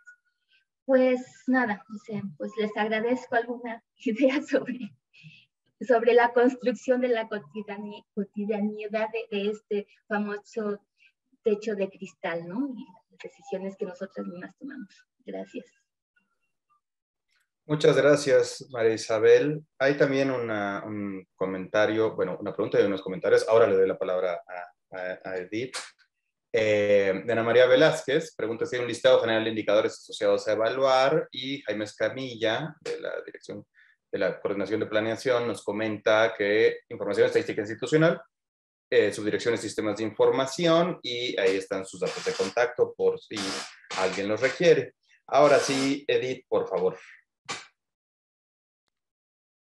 Gracias, doctor. Eh, sí, este, pues yo creo que tú misma te contestaste, ¿no? O sea, sí tiene que ver, eh, a ver, el techo de cristal es, se hace alusión a esta parte la de eh, escalar puestos que son más altos y hay un, ahora sí que imaginariamente podemos ver que hay algo de cristal que no, no deja, ¿no? Pero no es tan institucional como para que alguien te contrate y te diga, ah, bueno, este, estás eh, en edad, eh, ah, bueno, eh, tú eres mujer, te puedes embarazar, este, tienes familia, tienes hijos, tienes este, esposo, etcétera, etcétera.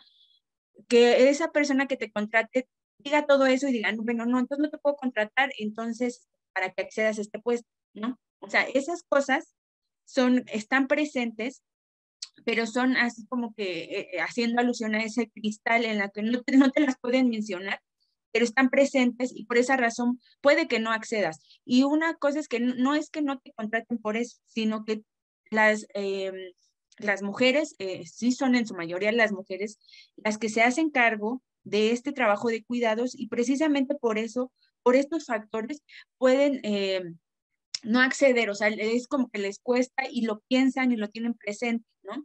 Porque usualmente los puestos de toma de decisión, puestos directivos, etcétera, sí requieren un mayor tiempo, o sea, no es de tiempo completo, es de tener, o sea, ahí es en muchos lugares, muchas empresas, en sector privado, sector gobierno, es estar eh, más allá de un horario, ¿no? Entonces, eh, más allá sabemos que las contrataciones hay jornadas, etcétera, pero eh, requieren más, ¿no? Más de tiempo. Tú lo acabas de decir, este, simplemente la academia requiere muchas veces más allá de el tiempo por el que somos contratados, ¿no? Entonces, esos, esos factores son los que están presentes. Y este tema es la corresponsabilidad en la cual si este eh, trabajo estuviera eh, ahora sí repartido entre las personas que integran eh, el hogar, las personas que este, ahora sí que por algunos tipos de contrataciones tuvieran acceso a este, guarderías, a, estas instancias donde pueden pues, cuidar en su mayoría que son las hijas, hijos o instituciones de salud que pueden este, también pues mediar todo este tipo de, cuidados, entonces eh, las mujeres eh, tendrán como que un poquito más de ese tiempo. Y sí, el factor aquí importante es el tiempo.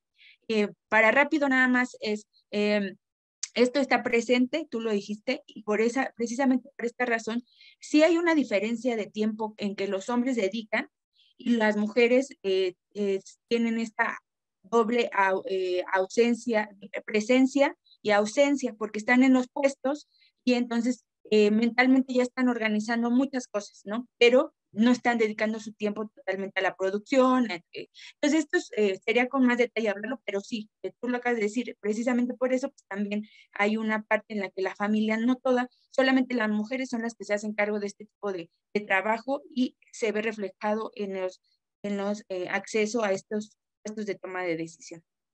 Gracias. Muchas gracias, Edith. Em, ¿Alguna otra pregunta? Me parece que no. Ok. Bueno, entonces, ahora sí, doy lectura al perfil de la semblanza de la maestra Sandro Barranco García. Ella es licenciada en Relaciones Internacionales y maestra en Gobierno y Asuntos Públicos, ambas por la Universidad Nacional Autónoma de México. Fue ganadora del premio del Instituto Nacional de Administración Pública en 2015. Es especialista en el análisis, implementación, evaluación y seguimiento de programas y políticas públicas. Se desempeñó por más de 10 años en el sector público y diplomático. Fue vicecónsul en el Consulado General de México en El Paso, Texas. Formó parte de la coordinación de direcciones del Instituto Nacional de Educación, perdón, del INE, eh, no es el de Educación, eh, en las entidades federativas del Centro CLEAR para América Latina en el CIDE y del Centro de Investigaciones de Estudios de Género en la UNAM. Actualmente colabora en la Coordinación para la Igualdad de Género en la UNAM, donde se desempeña como subdirectora de transversalización de políticas universitarias. Está a cargo del proyecto para diseñar el sistema de seguimiento y transversalización de la política institucional en materia de género en la UNAM, el STIC, y colabora en el proceso de instalación y fortalecimiento y consolidación de las comisiones internas para la igualdad de género. Ha participado en diversos cursos y conferencias para la incorporación de la perspectiva de género en funciones sustantivas de las instituciones de educación superior y sus líneas de investigación son el diseño, la implementación, seguimiento y evaluación de políticas públicas con perspectiva de género y la transversalización e institucionalización de la perspectiva de género en las instituciones de educación superior. Sandra, por favor. Muchísimas gracias, eh, Víctor. Eh, pues ahora lo que les vamos a compartir es eh, la guía que, se, que se diseñó en la Coordinación para la Igualdad de Género para facilitar la elaboración de los diagnósticos para las CIMICs. justo primero compartirles que este, todo este ejercicio del ciclo de la política se ha estado eh, trabajando y permeando en el trabajo que realizan las comisiones justo para tener un contexto de, pues, eh, de muy alto nivel en el, eh, en el diseño y implementación y seguimiento de las acciones que se realizan a favor de la igualdad de género y la erradicación de la violencia. Entonces, uno de los elementos muy importantes para este ciclo de la política es el diseño de los diagnósticos, ¿no? Como hemos platicado a lo largo de estas sesioes, eh, es importantísimo identificar las problemáticas y justo la participación eh, de Edith va hacia allá, que ustedes puedan ver algunos ejemplos de cómo se presenta la información eh, cuando hacemos un análisis de estadísticas de género, de brechas de género, para que les sirvan como punto de referencia para que se puedan ir elaborando los diagnósticos. Entonces, les voy a compartir una presentación.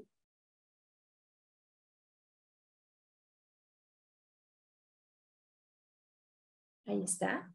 Eh, eh, como ya eh, ustedes lo vieron, el objetivo de, los diagnósticos y en particular el objetivo del diagnóstico de las comisiones internas es que puedan elaborar un diagnóstico local. Esto es importante porque es que ustedes tengan cifras que, que son específicas de sus entidades y dependencias para que puedan tener un mejor diseño de política institucional.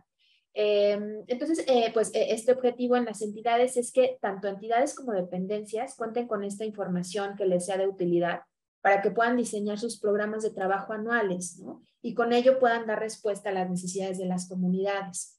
Em, como eh, eh, hemos visto durante, durante estas sesiones y lo vamos a ver en las siguientes para su programa de trabajo y para el sistema de seguimiento, nosotros hemos estructurado el trabajo de las comisiones internas en 11 ejes y cada eje, como hemos visto en los árboles, tiene causas diferentes asociadas a, la problemática principal y, pero también si se dan cuenta, eh, empatan, se alinean con los distintos ejes que se, que se están trabajando también dentro de la coordinación. Entonces, eh, cuando hablamos de diagnóstico, hablamos de, de, la necesidad de diagnosticar alguno de los ejes que se encuentran en el STIG.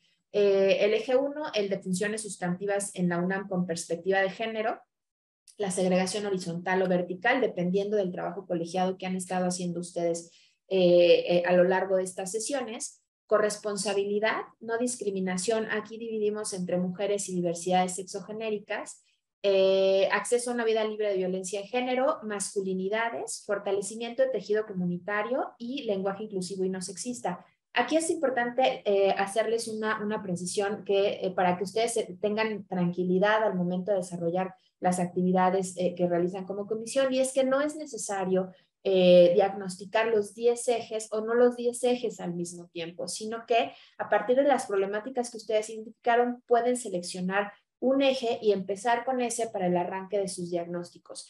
El eje que, pensa, que, eh, o sea, que, que, que, deberíamos sí tener en toda la universidad es el de eh, violencia, ¿no? empezando con violencia y siguiendo por discriminación, porque son, digamos, los ejes que eh, deben ser prioritarios de atender, ¿no? Y el resto, eh, eh, conforme se vaya realizando, va sumando a, aunar factores que permitan la erradicación de la desigualdad y la violencia.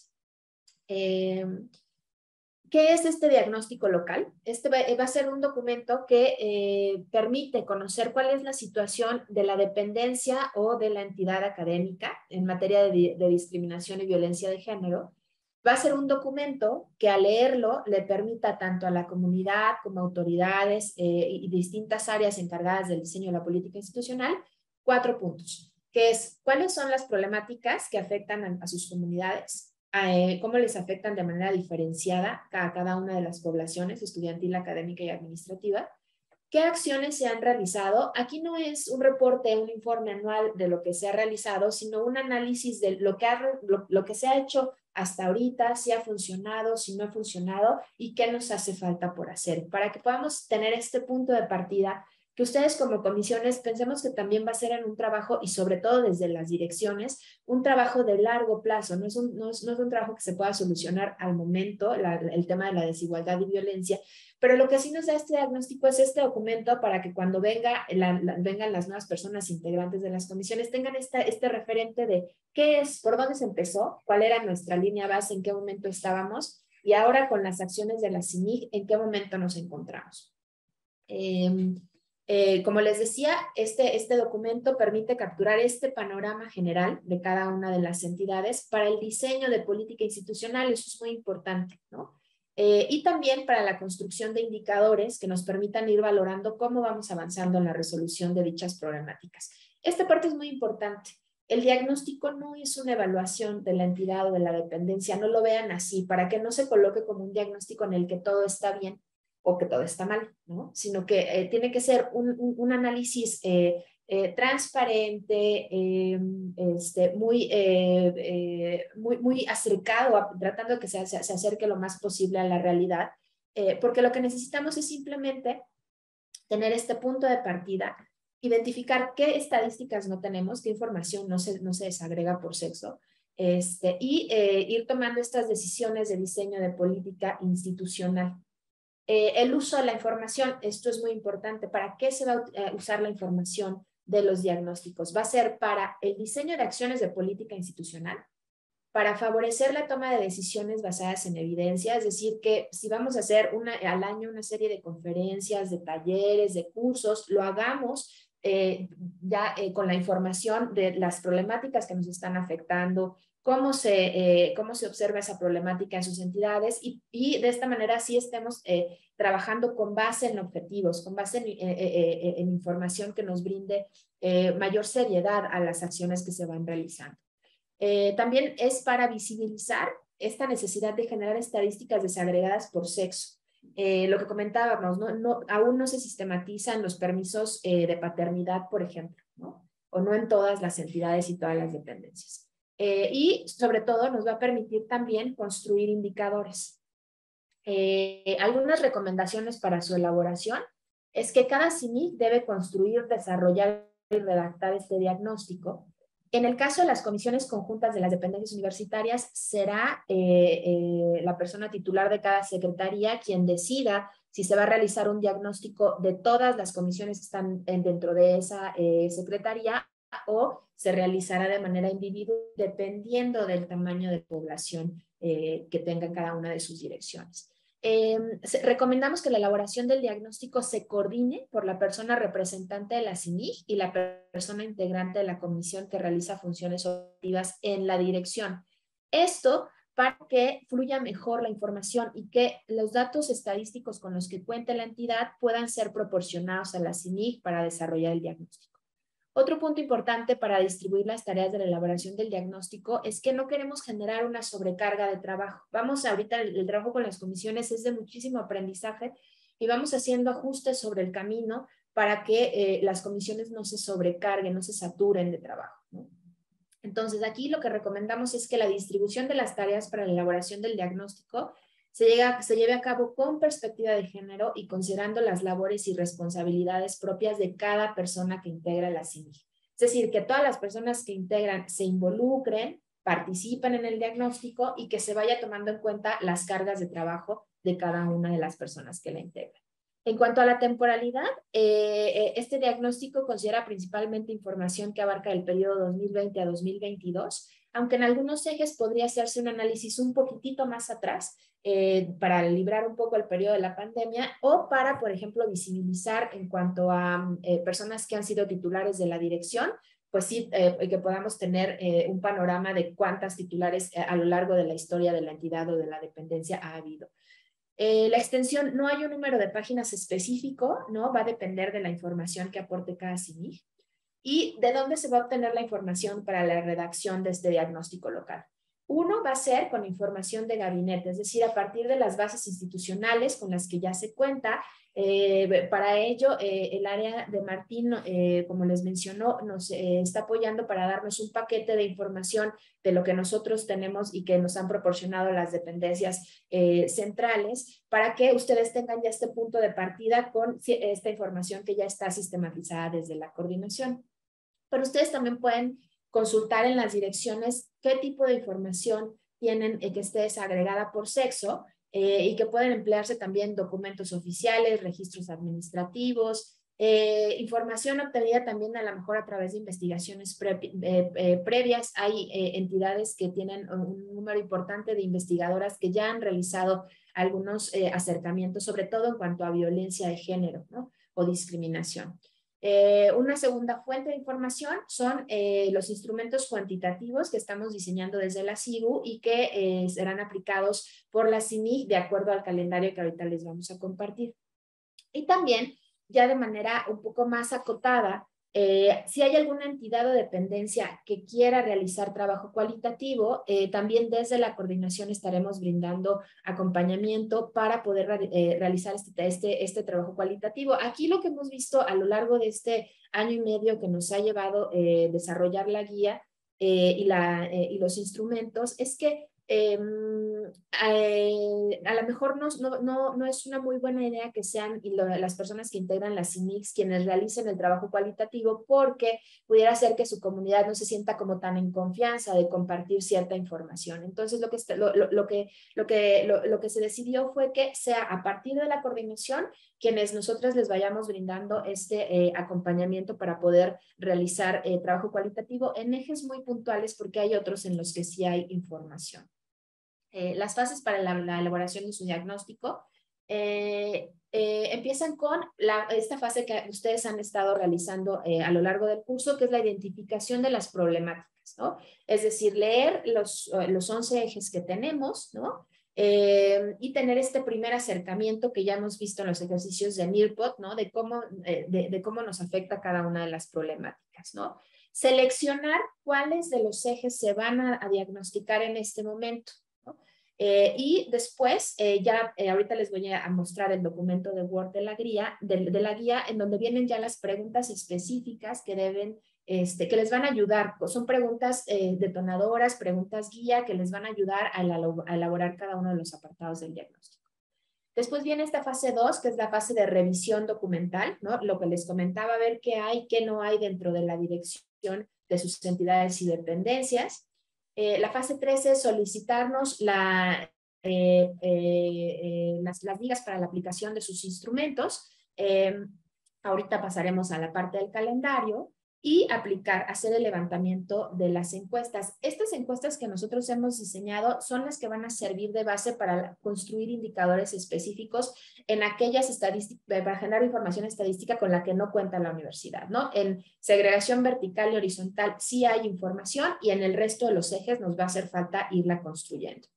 Después vendrá la fase del análisis de la información, en donde ya ahí nos tocará este, pues, leer, empaparnos de lo que nos están dando los resultados. Aquí es importante y nosotros también por eso es que desde el diseño del instrumento eh, estaremos cuidando que la recopilación de la información sea anónima, este, ya que al tratarse de diagnósticos de política institucional no se debe recabar datos personales de una persona identificada o identificable, eso es muy importante. Eh, y eh, también, igual, para el análisis de los datos, eh, pues es eh, eh, posible que ustedes soliciten el acompañamiento de la coordinación.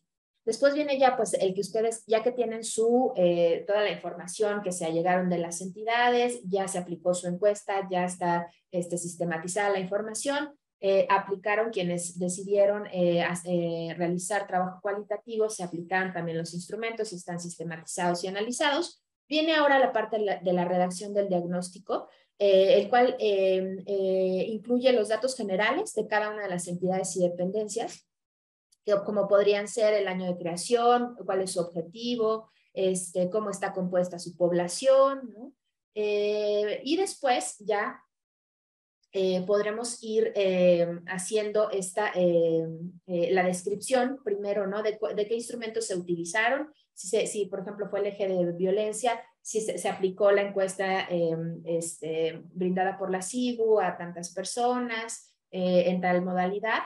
Y ahora sí empezaremos a compartir la información de en qué, eh, em, en qué estado está esta problemática, ¿no? Eh, describirla, nos va, para describirla vamos a contar con estas preguntas que ahorita voy a, a mostrarles, ¿no? Em, y ustedes pueden utilizar en esta redacción del diagnóstico gráficas, tablas, diagramas, de ahí la importancia de la presentación de EDIT, porque el CIEG pues tiene ya mucha eh, experiencia en la presentación de estos datos. Entonces, es un buen referente el que ustedes consulten el material que ha sido eh, generado desde el CIEG para ver cómo se hace la presentación de estos diagnósticos. Em, aquí es importante que cuando ustedes vayan haciendo esta redacción, eh, vayan argumentando y por eso es importante que, que, sean ustedes como comisión quienes vayan redactando el diagnóstico, porque es importante que se vaya argumentando por qué esa problemática representa el problema, cómo afecta a sus comunidades y por qué es relevante atenderla. Entonces, hay, hay información de este punto en particular que nosotros no tenemos a nivel central, que solamente ustedes conocen. Eh, y justo eh, pues es importante diferenciar entre las tres poblaciones, estudiantil, académica y administrativa. Eh, también es importante describir las acciones que se han realizado para eh, resolver esta problemática. como les comentaba, solo un análisis general no es un informe de reporte de acciones de lo que se ha realizado porque no es el objetivo del diagnóstico. Estos tres elementos son súper importantes para que tengan ustedes una justificación sólida y evidencias para este diseño de política institucional.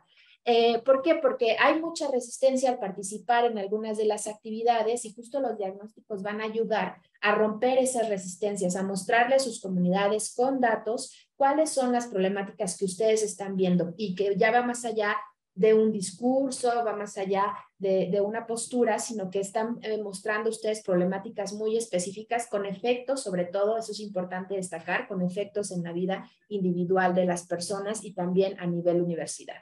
Eh, después de eso, ya que tengan ustedes redactado su diagnóstico, eh, es importante que se presente el diagnóstico a la persona titular de la entidad académico dependencia universitaria para tener el visto bueno o retroalimentación por parte de la dirección.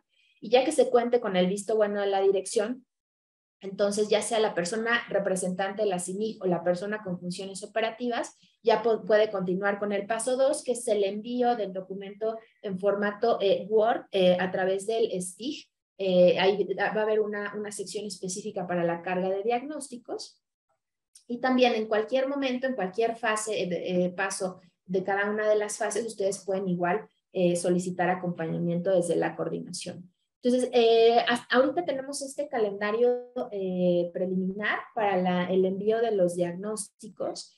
Eh, estaríamos pensando iniciar la elaboración de los diagnósticos ahorita en junio con el eje de violencia, que es la encuesta que tenemos ya lista para poder, este, y que estamos piloteando con algunas entidades y dependencias para que podamos arrancar con este.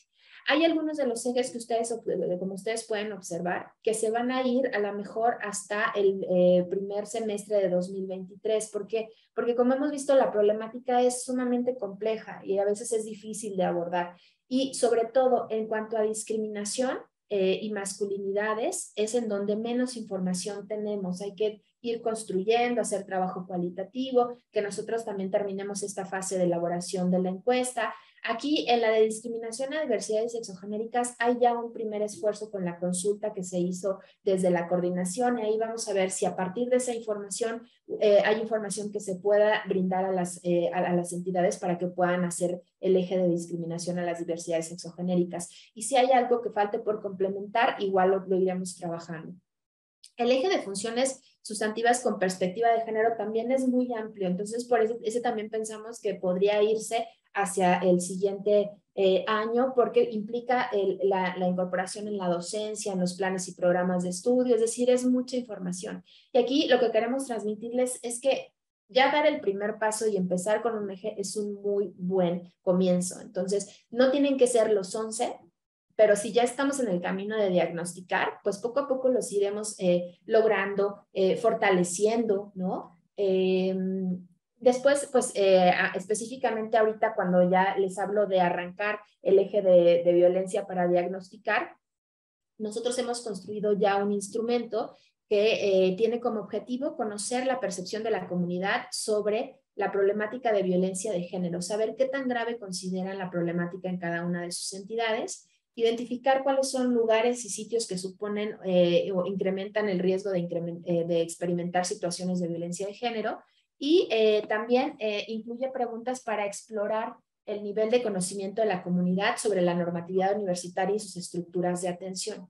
De ahí vamos a sacar estos indicadores que van a ir en el STIG, porque a partir de esta encuesta lo que nos va a permitir es homologar la información de toda la universidad qué es lo que queremos para poder tener eh, eh, eh, indicadores que nos permitan ir midiendo cómo vamos en, las, en el trabajo que se está realizando como universidad y en cada una de las entidades, necesitamos encontrar instrumentos que nos permitan contar con información homologada.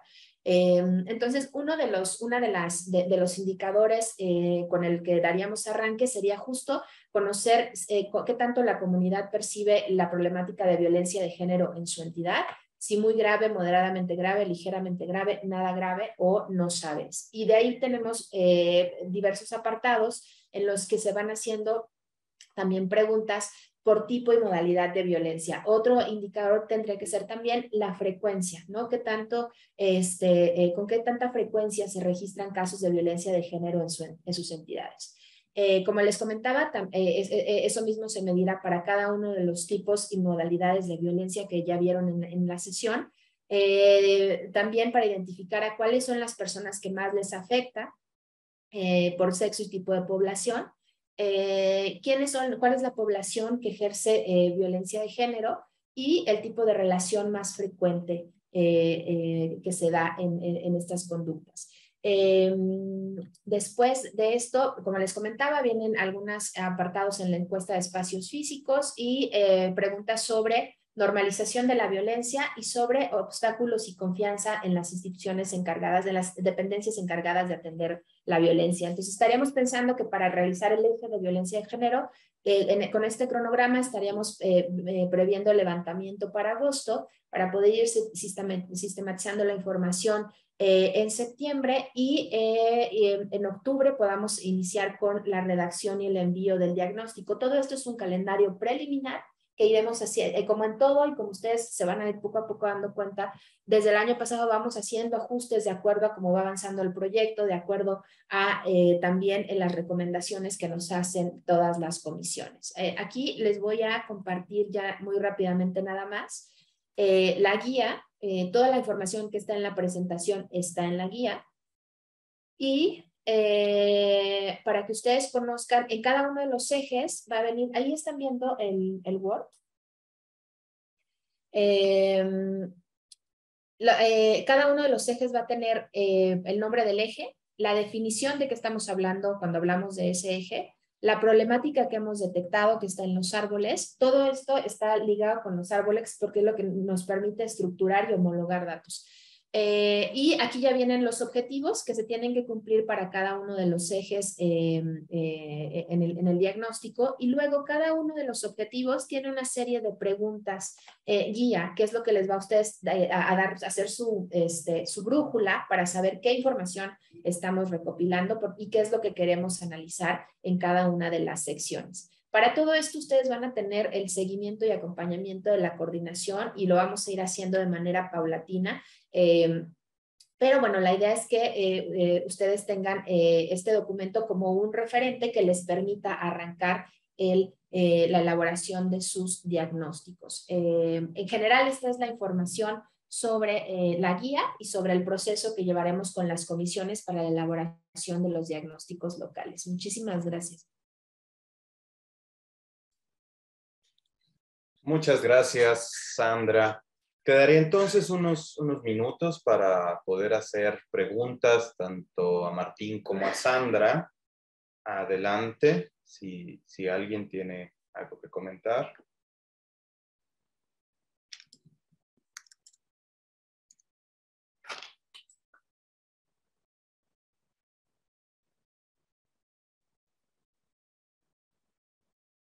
Adelante, René.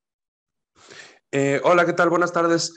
Eh, pues veo esto del diagnóstico y me parece que es muchísima información, es, es muy complejo lo que se quiere diagnosticar. Este, creo que son, o sea, ni siquiera alcanzo a entender si, si hay que hacer un diagnóstico por cada eje y por lo tanto nos va a llevar 11 semestres a hacer el diagnóstico. Este, o sea, yo, lo veo, la verdad es que lo veo como una enormísima carga de trabajo para las comisiones.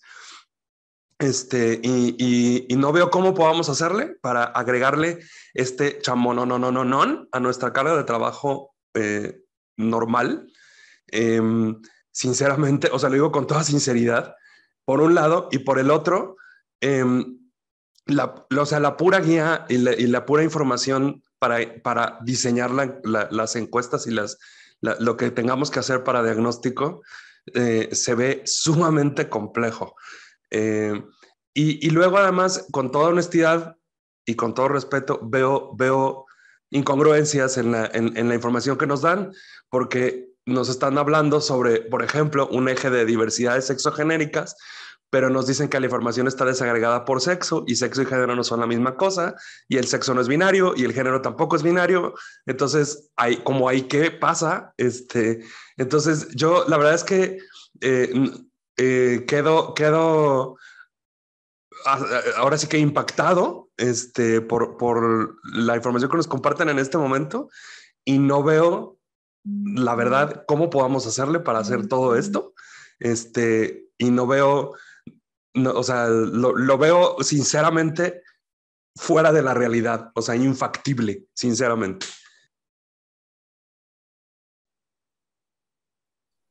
Sandra. Sí, muchas gracias, muchas gracias René. Eh, qué bueno que nos haces estas, este tipo de precisiones para poder eh, aclarar ciertos puntos como muy específicos. El diseño de los instrumentos lo vamos a realizar nosotros, no lo tienen que realizar ustedes como comisiones. Eh, lo mismo para el trabajo cualitativo. Si hay alguna comisión que requiere realizar trabajo cualitativo, nosotros desde la coordinación vamos a tener las entrevistas a profundidad, lo que se requiera, dependiendo de la temática específica que quieran este, eh, abordar a partir de eh, la información cualitativa. todos los ejes no se van a realizar al mismo tiempo. O sea, pueden ustedes escoger un solo eje y a partir de eso iniciar la redacción de, del mismo. Lo que nosotros estamos haciendo también en este momento es hacer un eh, ejemplo, es decir, nosotros aterrizar lo que viene en la guía, un ejemplo que a ustedes les sirva también de referente para poder hacer este, eh, esta redacción del instrumento. Eh, en cuanto a la información desagregada por sexo, sí es un, en cuanto a lo que tiene que ver con información de gabinete, va a ser un reto, porque como ustedes bien saben, todavía no eh, la universidad apenas está en, eh, eh, en camino a hacer esta transformación y adición de variables que permitan justo tener información desagregada por sexo y género.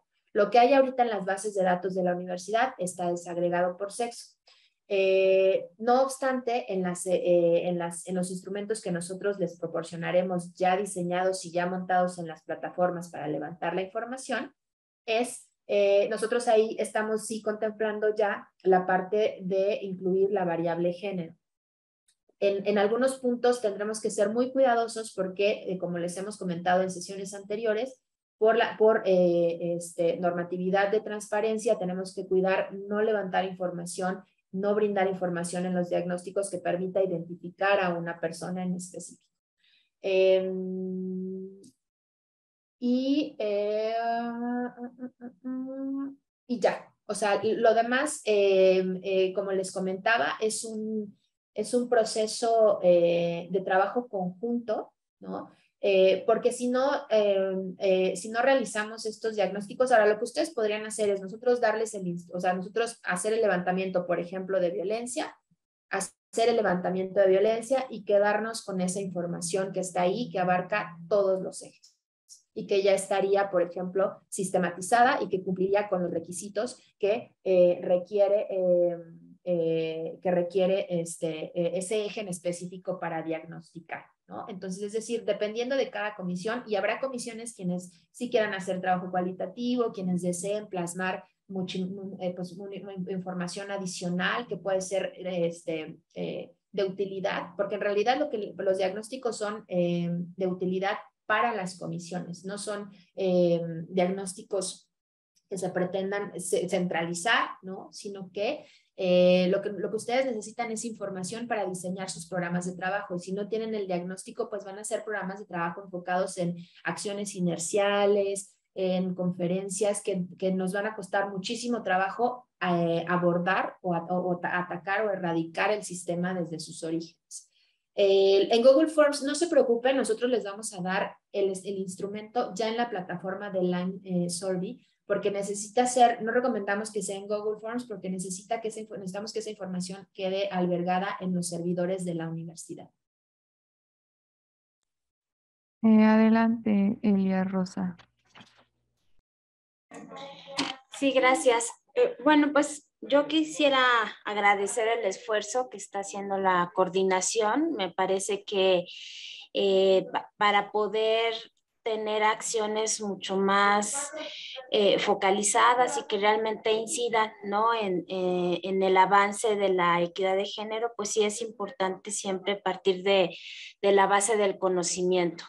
Y creo también que este, que si ya hay como un, camino recorrido eh, en términos del diseño del instrumento, de las estrategias de, para poder eh, hacer el levantamiento y procesamiento de la información, bueno, pues eso se agradece.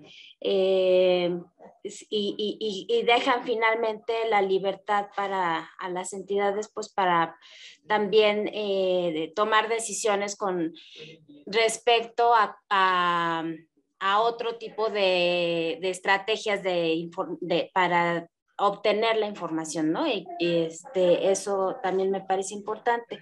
La duda que me surge es, eh, e, evidentemente, de estos ejes, eh, ustedes toman como prioritario la identificación de la violencia de género y nosotros como entidades podríamos decidir eh, si nos vamos con otro eje al mismo tiempo o, concluimos el diagnóstico de violencia de género y eh, iniciamos el siguiente semestre, el siguiente año con, con otra línea de los, de los ejes o cómo eh, o de qué manera se va pues eh, conjuntando estos, estos ejes que ustedes están eh, proponiendo. Muchas gracias, Celia.